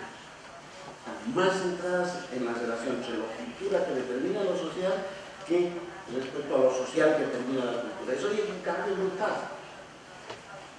Eh, pero existen. Están ahí, es un producto de la sociedad. Hemos registrado los conflictos. Los conflictos, ¿cierto?, tienen esta demanda común, que es una demanda épica por mayor dignidad. Sean ocupas en Nueva York, sean los mapuches en Chile, sea el movimiento ecológico verde alemán, sea el movimiento contra el volcán no sé cuánto y, bomba, una fábrica nuclear en, Japón. Todos tienen, han vuelto a resignificar la dignidad humana que fue básica del siglo XIX. Han vuelto a colocar la sociedad, además lo han colocado en la red, porque se comunican en red, combinan en red, discuten en red, conversan en red. El otro día Fernando contaba su experiencia, la discusión de los muchachos de las redes en, en, Montevideo que están de todas partes del mundo y conversaban y discutían y estaban conectados las 24 horas. O sea, esto existe. ¿Pueden perder? Sí, pueden perder. ¿Han perdido? Sí, han perdido. ¿Se han muerto? No. Están ahí, se viven. Estas son las características fascinantes de la sociedad de información y el informacionalismo. Son redevivas, son, se, se reciclan y colocan la necesidad de cambios institucionales. Ahora, un movimiento y una lucha social se acaba cuando se institucionaliza. El orden institucional nacional es insuficiente y el orden global los excluye. Entonces está instalado un problema. Porque no es que el Estado Nacional alemán va a resolver los problemas de la dignidad de la sociedad europea. Además, las sociedades son cada vez más regionales que nacionales. Europa es más, es Europa alemana de Federico Son cada vez más regiones. Nosotros no estamos atrasados que no acabamos de ser región. En serio, para jugar en el mundo. Pero el mundo está organizado por regiones. Y fuerzas de poder se han reestructurado la geopolítica mundial. Lo que pasa en China va a afectar inmediatamente a la señora de la esquina. Entonces, ese orden global ya no es solamente en relación respecto a los países desarrollados. Los mismos países desarrollados están perdidos. Los intelectuales europeos están perdidos. Y no digo que nosotros tengamos la razón, que el tercer mundista más normal, tampoco. Pero nosotros estamos obligados a pensar empíricamente y lo más científicamente posible, claro, sin olvidar la discusión que hay en Europa y Estados Unidos, tenemos que ver más horizontalmente. Y eso es un gran desafío intelectual para. Si una institución como la de ustedes promueve ese tipo de cosas, seria, académica, empíricamente, es una maravilla. Son pocas las que hay en América Latina. Y de ser se procesa y se procesará como institución y cada analista, etc. Pero el cambio académico es algo que necesitamos en la región y tampoco necesitamos enterrarnos en viejas teorías obsoletas. Claro, la lucha de clase, la lucha de no, es otra cosa. Entonces, este, yo, yo lo único que estoy diciendo, Roberto, es que la dignidad está instalada como demanda social universal y que haya movimientos transversales fuertes, fuertes, muy fuertes, que tienen chances de cambiar cosas. Por ejemplo, el movimiento de mujeres. Está pidiendo un cambio en las estructuras patriarcales. Nunca se le ha dado esto en la historia de la humanidad, porque es muy importante. Movimientos ecológicos, lo mismo, otra forma de producir, otra forma de vivir, son pueden perder, pueden perder, puede haber otra guerra, puede haber otra guerra. Los europeos pueden matar otra vuelta a 60 millones de habitantes, pueden matar 60 millones de habitantes. Si pasa eso, tener un bestia de presidente puede hacer otra barbaridad como los mexicanos, puede hacer otra barbaridad como todos los otros Suceden esas cosas. Pero desde el punto de vista del análisis, yo tengo que ver cuánto es la fuerza ética que me puede cambiar un modelo de desarrollo y organizar la ciencia y la tecnología en función, en este caso, de la dignidad, que es lo que la gente está reclamando. No es lo que yo quiero. Bueno, además, deseo que sea así, pero es lo que está instalado. Estos pueden perder. Pero está instalado. Es más fácil que pierdan, no sé, quizás así. A nosotros ya hemos visto que América Latina va y viene, son, somos barcos a la Estaba grande, fue chico, lo que el chico está grande, después no sabe lo que va a pasar y nadie tiene asegurado nada. Por eso la sociedad es real. Eh, eh, eh, y obviamente la contradicción entre democracia y capital es estructurante.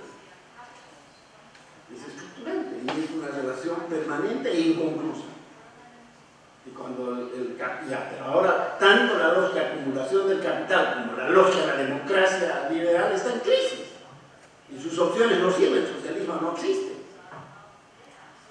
Entonces hay una situación complicadísima para entender y una situación compleja para, para poder responder, máximo porque te obliga a un pensamiento global. Y claro, entender lo que pasa en China, es más fácil que entender lo que pasa en Alemania. Este, respecto a la multiculturalidad, la, dignidad, yo pienso, el concepto clave que yo tengo sacado de estas investigaciones, lo que se está buscando es interculturalidad como una forma superior de multiculturalidad. Eso quiere decir que pueda haber este, convivencia entre distintos y esta convivencia en un plano de igualdad. Esa experiencia es más interesante en Canadá es más interesante en Canadá, pero pregunta a los movimientos indígenas de Canadá, vas a ver que son críticos con el modelo multicultural canadiense. Este, eh, este, lo que es el melting pot norteamericano, el melting pot norteamericano está en crisis total, hoy día más que nunca. Hubo una capacidad de protección y reproducción, una guerra de por medio, una guerra nacional, civil propia, pero hoy día está en crisis el sistema de convivencia del melting pot hoy día se rotó, como se rotó en Europa, y como tiene ciertas limitaciones brutales aquí, aquí no hemos resuelto el problema de los descendientes afrodescendientes ni de los pueblos originarios. cifras de pobreza, 120 millones de pobres latinoamericanos son de origen africano y cuarenta y tantos son de los pueblos originales. 300 años de modernidad, ¿para qué? Para nada sin de. Entonces, este, y los pueblos se han reactivado. Yo apuesto a esta reactivación. Hoy hay un movimiento multicultural de los pueblos originarios extraordinarios, desde México hasta los mapuches en Chile, y luego estarán acá. Y colocan una forma de convivencia distinta. Las instituciones no dan. El Estado liberal para reproducir una representación jurídica e institucional no me da. Porque los mismos funcionan en, colectividades que no estoy dando la respuesta individual. Como no le dan los migrantes, todos los migrantes están en red, por cierto. La gran mayoría de los migrantes funcionan en red. Los bolivianos que trabajan y viven y sufren acá y mandan plata a su familia y mantienen parte de la, sociedad boliviana o paraguaya o chilena o uruguaya, ¿cierto? Funcionan en red. Trabajan en red, crean su sentido en red, crean su Todos estamos integrados a la red. Y este continente es el que más ha crecido en los últimos 10 años en el mundo. Somos los que más consumimos este, Facebook. O sea, ya estamos en la sociedad de la información. El problema es cómo estamos y qué posibilidades tiene eso. Y el papel de la ciencia y la tecnología y la sociedad de la información es estratégico. Y por eso hay una institución que promueve esto y parece ¿no? Eh, ¿Qué papel les queda a los gobiernos nacionales para resolver el conflicto de la desigualdad y de la dignidad? Eh, ¿En qué medida hay salida de la crisis sin cambios institucionales y regulatorios? Eh, esto es una pregunta para Boyke. Eh, considerando que las migraciones caracterizan las, últimas décadas y que los migrantes cambian su inserción social rápidamente, ¿usted piensa que la movilidad social es mayor en el marco de las migraciones, ¿cuál es el rol de la migración en relación a la movilidad social? Y para Fernando, eh, en su opinión, ¿cuál es el rol de la mujer en las, en las posibles salidas a la multicrisis global que han descrito? Y respecto de la dignidad como condición de la emancipación y de la profundidad de las desigualdades, eh, ¿No será la emancipación la condición para la dignidad, invirtiendo el, esquema? Y la última, y acá este, les damos la palabra para hacer un cierre, eh, ¿dónde queda la competencia capitalista como proceso en este enfoque? Se lo preguntan en particular a, a Boyke. ¿Y cuál es el rol de la agencia y de la arquitectura de la red de la, eh, a la que pertenecen los miembros de las distintas clases sociales. Bueno, hacemos una ronda final antes de cerrar. Voy. First, uh, I also want to get back to uh, what has been said. It's interesting that I used the term dignity and you did, and I talked about the class below the line of dignity, of course. And we had a lot of discussions in our research team about this term because it's relevant for Europe and the Americas. It's less relevant for Africa and it's almost not relevant for Asia. In Asian societies, uh, the term dignity does not really exist, and also the problem does not exist. The closest thing to dignity is something like face or honor or something like that but that has a different meaning. And why is that? Um, because this meaning of dignity is very much linked to capitalist class structure, in fact. And um, the class that has dignity is the class that labors, and you made this association yourself. And the class that does not have dignity is the one that doesn't have access to labor. But in most Asian societies and in Africa as well, this problem does not really exist because um, people who do not have labor, they are peasants or they perform other types of activity of informal labor, which is also labor. It's not associated with dignity uh, to the same degree. But this is very important that in capitalist societies this problem emerges and there are structural groups that do not have access to dignity. And this problem is not easily solved by uh, any measures of the government or so. And there I come to the first question about the role of the national governments. As I said in my talk, the, the scope is limited, but it's not non-existent.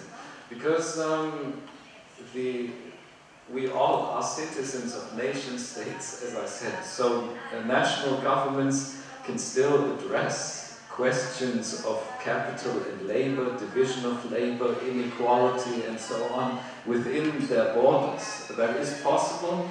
As I said, the smaller the state, the smaller the scope for action, but any state still has some action, and even very small states do have considerable uh, decision power and maneuvering power. But, as Fernando just uh, said, um, many states go the opposite direction. They go towards nationalism and solving the problem by making, by creating something, in fact, like class struggles and class divisions between classes that have dignity and those who do not have dignity. This is a form of xenophobia in itself. And this relates to the question about migration.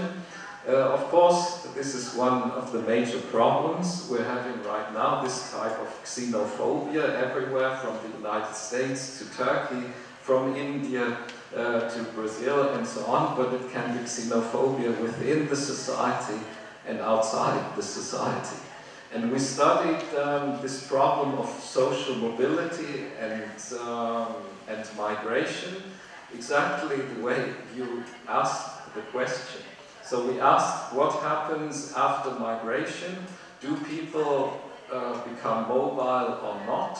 And we see, no, they end up in the similar class to their class of origin. Um, and that's very evident in Germany, where we uh, make the, say, most encompassing study of migration and social mobility. They end up in the same class as they came from. And of course, there's migration in all levels of society, in all social classes. But there's least migration at the very top. That's what I refer to. The dominant classes don't migrate. Um, of course, we migrate. Academics migrate, uh, CEOs migrate, and so on. And we migrate and we, uh, we get into the same class wherever we go.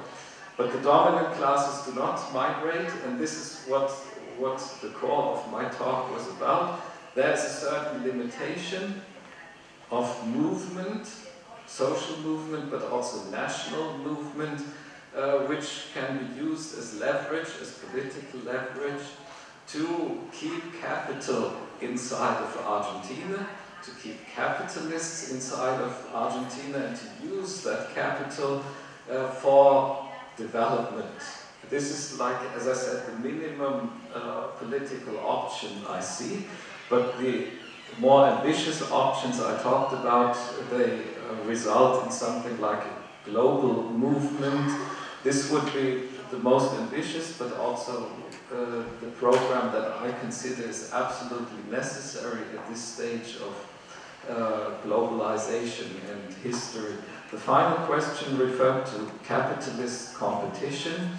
Uh, that's a very good and nice question. We have been discussing this within our research group these past uh, months extensively because there seems to be competition everywhere and competition is very important. But if we look at it very closely, this competition is always limited to very, very small number of agents. So you talked about the multinational companies in any field of production, you have five companies that dominate basically everything. And I don't know if you know this paper by Glattfelder and others from Zurich. They calculated uh, that only a handful, I think 47 companies around the world control the entire global economy. Uh, and all these 47 companies are interlinked, of course.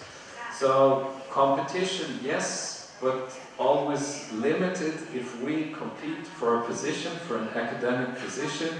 There are 10 suitable applicants, maybe 50 applicants, but the rest of the population does not compete for this position, and so on and so on. So there is competition and it keeps the story alive and it keeps us alive and it uh, is an incentive and so on as an economic theory, but it's very limited and it has to be linked to the social conditions in order to understand what scope there actually is for economic theory to work in reality. That's Bueno, para responder en orden la, la, la, las preguntas, creo que algo dije entre que llegó la pregunta y lo que yo dije anteriormente sobre la participación de la mujer eh, y, y, los movimientos de género. Yo creo que probablemente es el movimiento global más importante existe hoy día en la demanda de la mujer. Lo que pasa es que no está estructurado como era un actor clásico histórico como fue la clase obrera durante el siglo XX, pero el peso que tiene y la dinámica que tiene, eh, eh, la fuerza de, de, de, los movimientos de géneros en la red y las luchas eh, contra el sistema patriarcal es transversal al conjunto de la humanidad con mayor intensidad, menor intensidad y probablemente es un actor histórico de cambio. Todavía estamos viendo, pero es un tema de, discusión, así que yo creo que es central porque te, lo, lo, es central porque lo que te, pone en cuestión es un orden cultural que trasciende el capitalismo y que es casi congénito eh, eh, al orden social de la humanidad, que está planteando una inversión en términos de equidad y de diferencia eh, cabalmente. y en ese sentido, este, probablemente sea la fuerza de cambio cultural más notable que haya a escala global, sin negar que haya importancia de, de otro. Yo creo que la relación entre dignidad y emancipación se complementa muchamente. Yo no creo que haya un primero uno y después otro. La misma construcción de la dignidad, incluso a nivel más eh, restringido a nivel individual, es una forma de autoemancipación, la idea de la construcción del propio sujeto. Eh, es largo pero, pero quería plantear eso. Ahora, me pareció interesante esto de la dignidad, cómo vemos de manera distinta. Nosotros hemos hecho estudios también y hemos estudiado acá con japoneses. En, el Congreso Mundial de Sociología que hubo aquí en Buenos Aires hace unos cuatro años en la Facultad de Economía, me tocó, no sé si viniste, a mí me tocó comentar una mesa de japoneses que estudiaban los efectos de la planta atómica de Fukuyama. Y la y yo decía, claro, el primer código de interpretación, aquí no, veía una no podía entender, fíjate, el código de interpretación que hacían de su propia crisis eh, social que había generado los efectos del volcán sobre la sociedad japonesa. Cosas que entendí después. En primer lugar, había la vuelta del pasado una bomba atómica que ya se la echaron. Hace, en, en Hiroshima y Nagasaki. O sea, estaba presencia del miedo a la bomba atómica como motivación a, a reivindicar su necesidad de que se cierre esa planta nuclear y que le estaba afectando su vida cotidiana. Segundo lugar, los que más participaban en este movimiento eran mujeres. Me sorprendió cómo eran mujeres que tenían mayor nivel en las distintas luchas y formas de participación para parar o aminorar los riesgos del vapor, del, del, de la planta nuclear en, en la región esta. La tercera cosa es de que ellas estaban reclamando una forma de vida más autónoma, más ecológica que lo que le estaba planteando la oferta de resolver el problema el Estado japonés. Oye, si esas tres cosas no son dignidad, no sé qué la dignidad. O sea, había en mucho código cultural difícil para entender para mí, ¿cierto? Y quizás para ti, que el código que después yo intenté, cuando después pregunté, pregunté, pregunté, entendí al final que estaban diciendo que la gente lo que quería una forma de vivir distinta y recuperar una forma de vivir en un pasado religioso que tenían ellos. A mí me sorprendió, no sé si será así, pero no conozco eh, el tema, pero me sorprendió. Y es esto lo que tenemos que estudiar.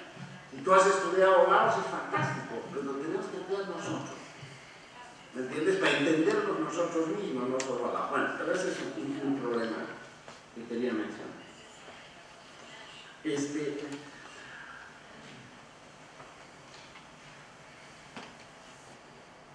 they had a book writing 30 years ago in my country, Bolivia, for a man. And the book is I eat the man and the man eat us. Yo como la mina y la mina me come a mí. Es la historia de Lucio Suárez, un minero boliviano que trabajaba 10 horas dentro de la mina. Era un luchador brutal. La, historia de él es la lucha social brutal contra la opresión. El Chocho, el hombre más millonario del mundo, que fue Papín, un boliviano, cholo, mestizo. Y ahí voy a llegar a otro punto más. Ese señor, ¿cierto? Peleaba a muerte para nacionalizar las minas de Papín. Pero su dignidad que construía él como persona era su trabajo y su respeto por él mismo por trabajar en la mina.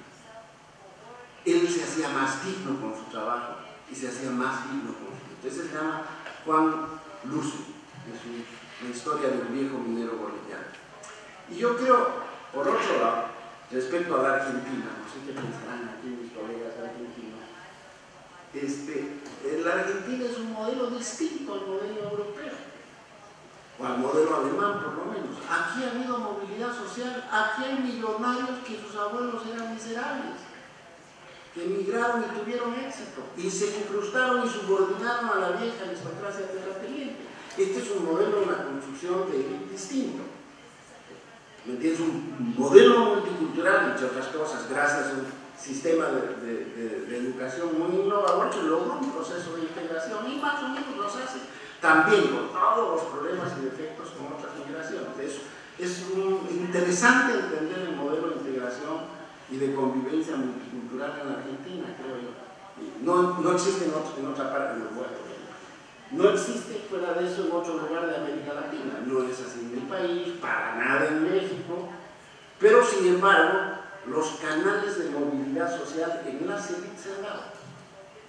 Hay estudios que se han hecho donde, donde muestran, que di el ejemplo de Patiño. Patiño no podía entrar al Club Social de Cochabamba y llegó a ser el hombre más rico del mundo 30. Y negociaba con Hitler y negociaba con Churchill aquí en el 10 años y tenía su fábrica en Malasia. Y era un chorito que no podía entrar al Club Social. Esas lógicas de, nuestros países, pero llegó a ser. Parte del envío de las élites. Es, es, interesante ese, ese, contraste ojalá que pueda seguir estudiando la conformación y el desarrollo de las élites. Aquí en Argentina hay importantes estudios, Jorge Schwarze y Jorge Sábado tiene un estudio hermoso que recomiendo sobre, sobre, sobre las élites en Argentina y las características de cómo se reproducen y ganan en el caos, ¿no? Eh, ahora, el tema del Estado y el tema de la, globalización. Claro, es un tema central porque el Estado no es que ha dejado de existir, ¿ah? Sino que el Estado es insuficiente para regular su propio orden, porque la lógica del poder de la globalización subordina la lógica del Estado-Nación, y el Estado-Nación trata de entrar en el juego a partir de su propia capacidad de cohesión interna y de sus temas de alianzas regionales y globales. Pero las economías y esa es Europa. Europa ha tratado de hacer un proyecto regional en una lógica liberal y no le está resultando. ¿Cómo construyo? ¿Cómo mantengo mi nación, ¿cierto? En una región y además en una globalización, un tema brutal. Ojalá que lo puedan hacer de otra manera, pero hoy día está en juego. Entonces, la capacidad del Estado-Nación y modelos nacionales desarrollistas tienen fuertes límites, como si los tienen también los modelos neoliberales o ultra neoliberales respecto al mercado. Ni el Estado ni el mercado son suficientes para organizar un orden. O sea, si Estado ni mercado son suficientes, expresados esta crisis multiglobal. Entonces, ¿cómo se va a reestructurar esto? No lo sé, porque es muy difícil saberlo. uno puede apostar a cosas, ¿no? Pero, pero, pero ciertamente aquel Estado que tenga más capacidad de integración de instituciones, mayor capacidad de articulación regional, mayor capacidad del juego mundial, le va a ir mejor que aquel otro que no tiene. Pero, pero, pero ciertamente el orden estatal es insuficiente y el orden global está destruyendo. Entre otras cosas, su propia capacidad de globalización. Lo estamos viendo en la economía más poderosa del mundo. ¿no? no le da el orden global que creó para gobernar su propia nación. Mira, nos enseñó eso. Colombia no, también, sobre todo Estados Unidos. Entonces, ¿cómo nos movemos en esta sociedad del, riesgo y del, y del, desorden? ¿Y cómo nos organizamos? Es un tema pero por lo menos Sí, muy bien. Se volvió el diálogo. Just to clarify one thing about social mobility. First of all, I was referring to social class, not economy. So there are rich football players, of course, but this doesn't mean that they change their class. Second, um, I said that there's no mobility in those societies that have a long-standing capitalist class order. In the capitalist transformation, there's a lot of mobility. For example, now in Laos or in India, we see a lot of social mobility. But once the capitalist class order is established and lasts, there's no more mobility between social classes anymore. This is what I wanted to say. And what is interesting regarding gender is each class establishes its own gender inequality. So there's as many genders, if you like, as there are classes. Gender equality, inequality doesn't uh, disappear, but becomes subordinated to class just as ethnicity and so on, and they all persist underneath the class order. And why do I agree with you on the importance of the women's movement? Because they acknowledge the intersection of these different types of inequality which other traditions do not, and that's why it's important and it leads us further from my perspective. Muchas gracias. Eh, bueno, muchísimas gracias a Boyke y muchísimas gracias Fernando por las contribuciones, eh, siendo la primera mesa del primer día de este seminario, seguramente quedarán dichas para que sean retomados eh, en otras mesas también, en otros debates también. Y muchas gracias a todos ustedes por haber estado esta mañana hoy aquí. Gracias. Muchas gracias a todos. Los esperamos en el panel de la tarde que comienza a las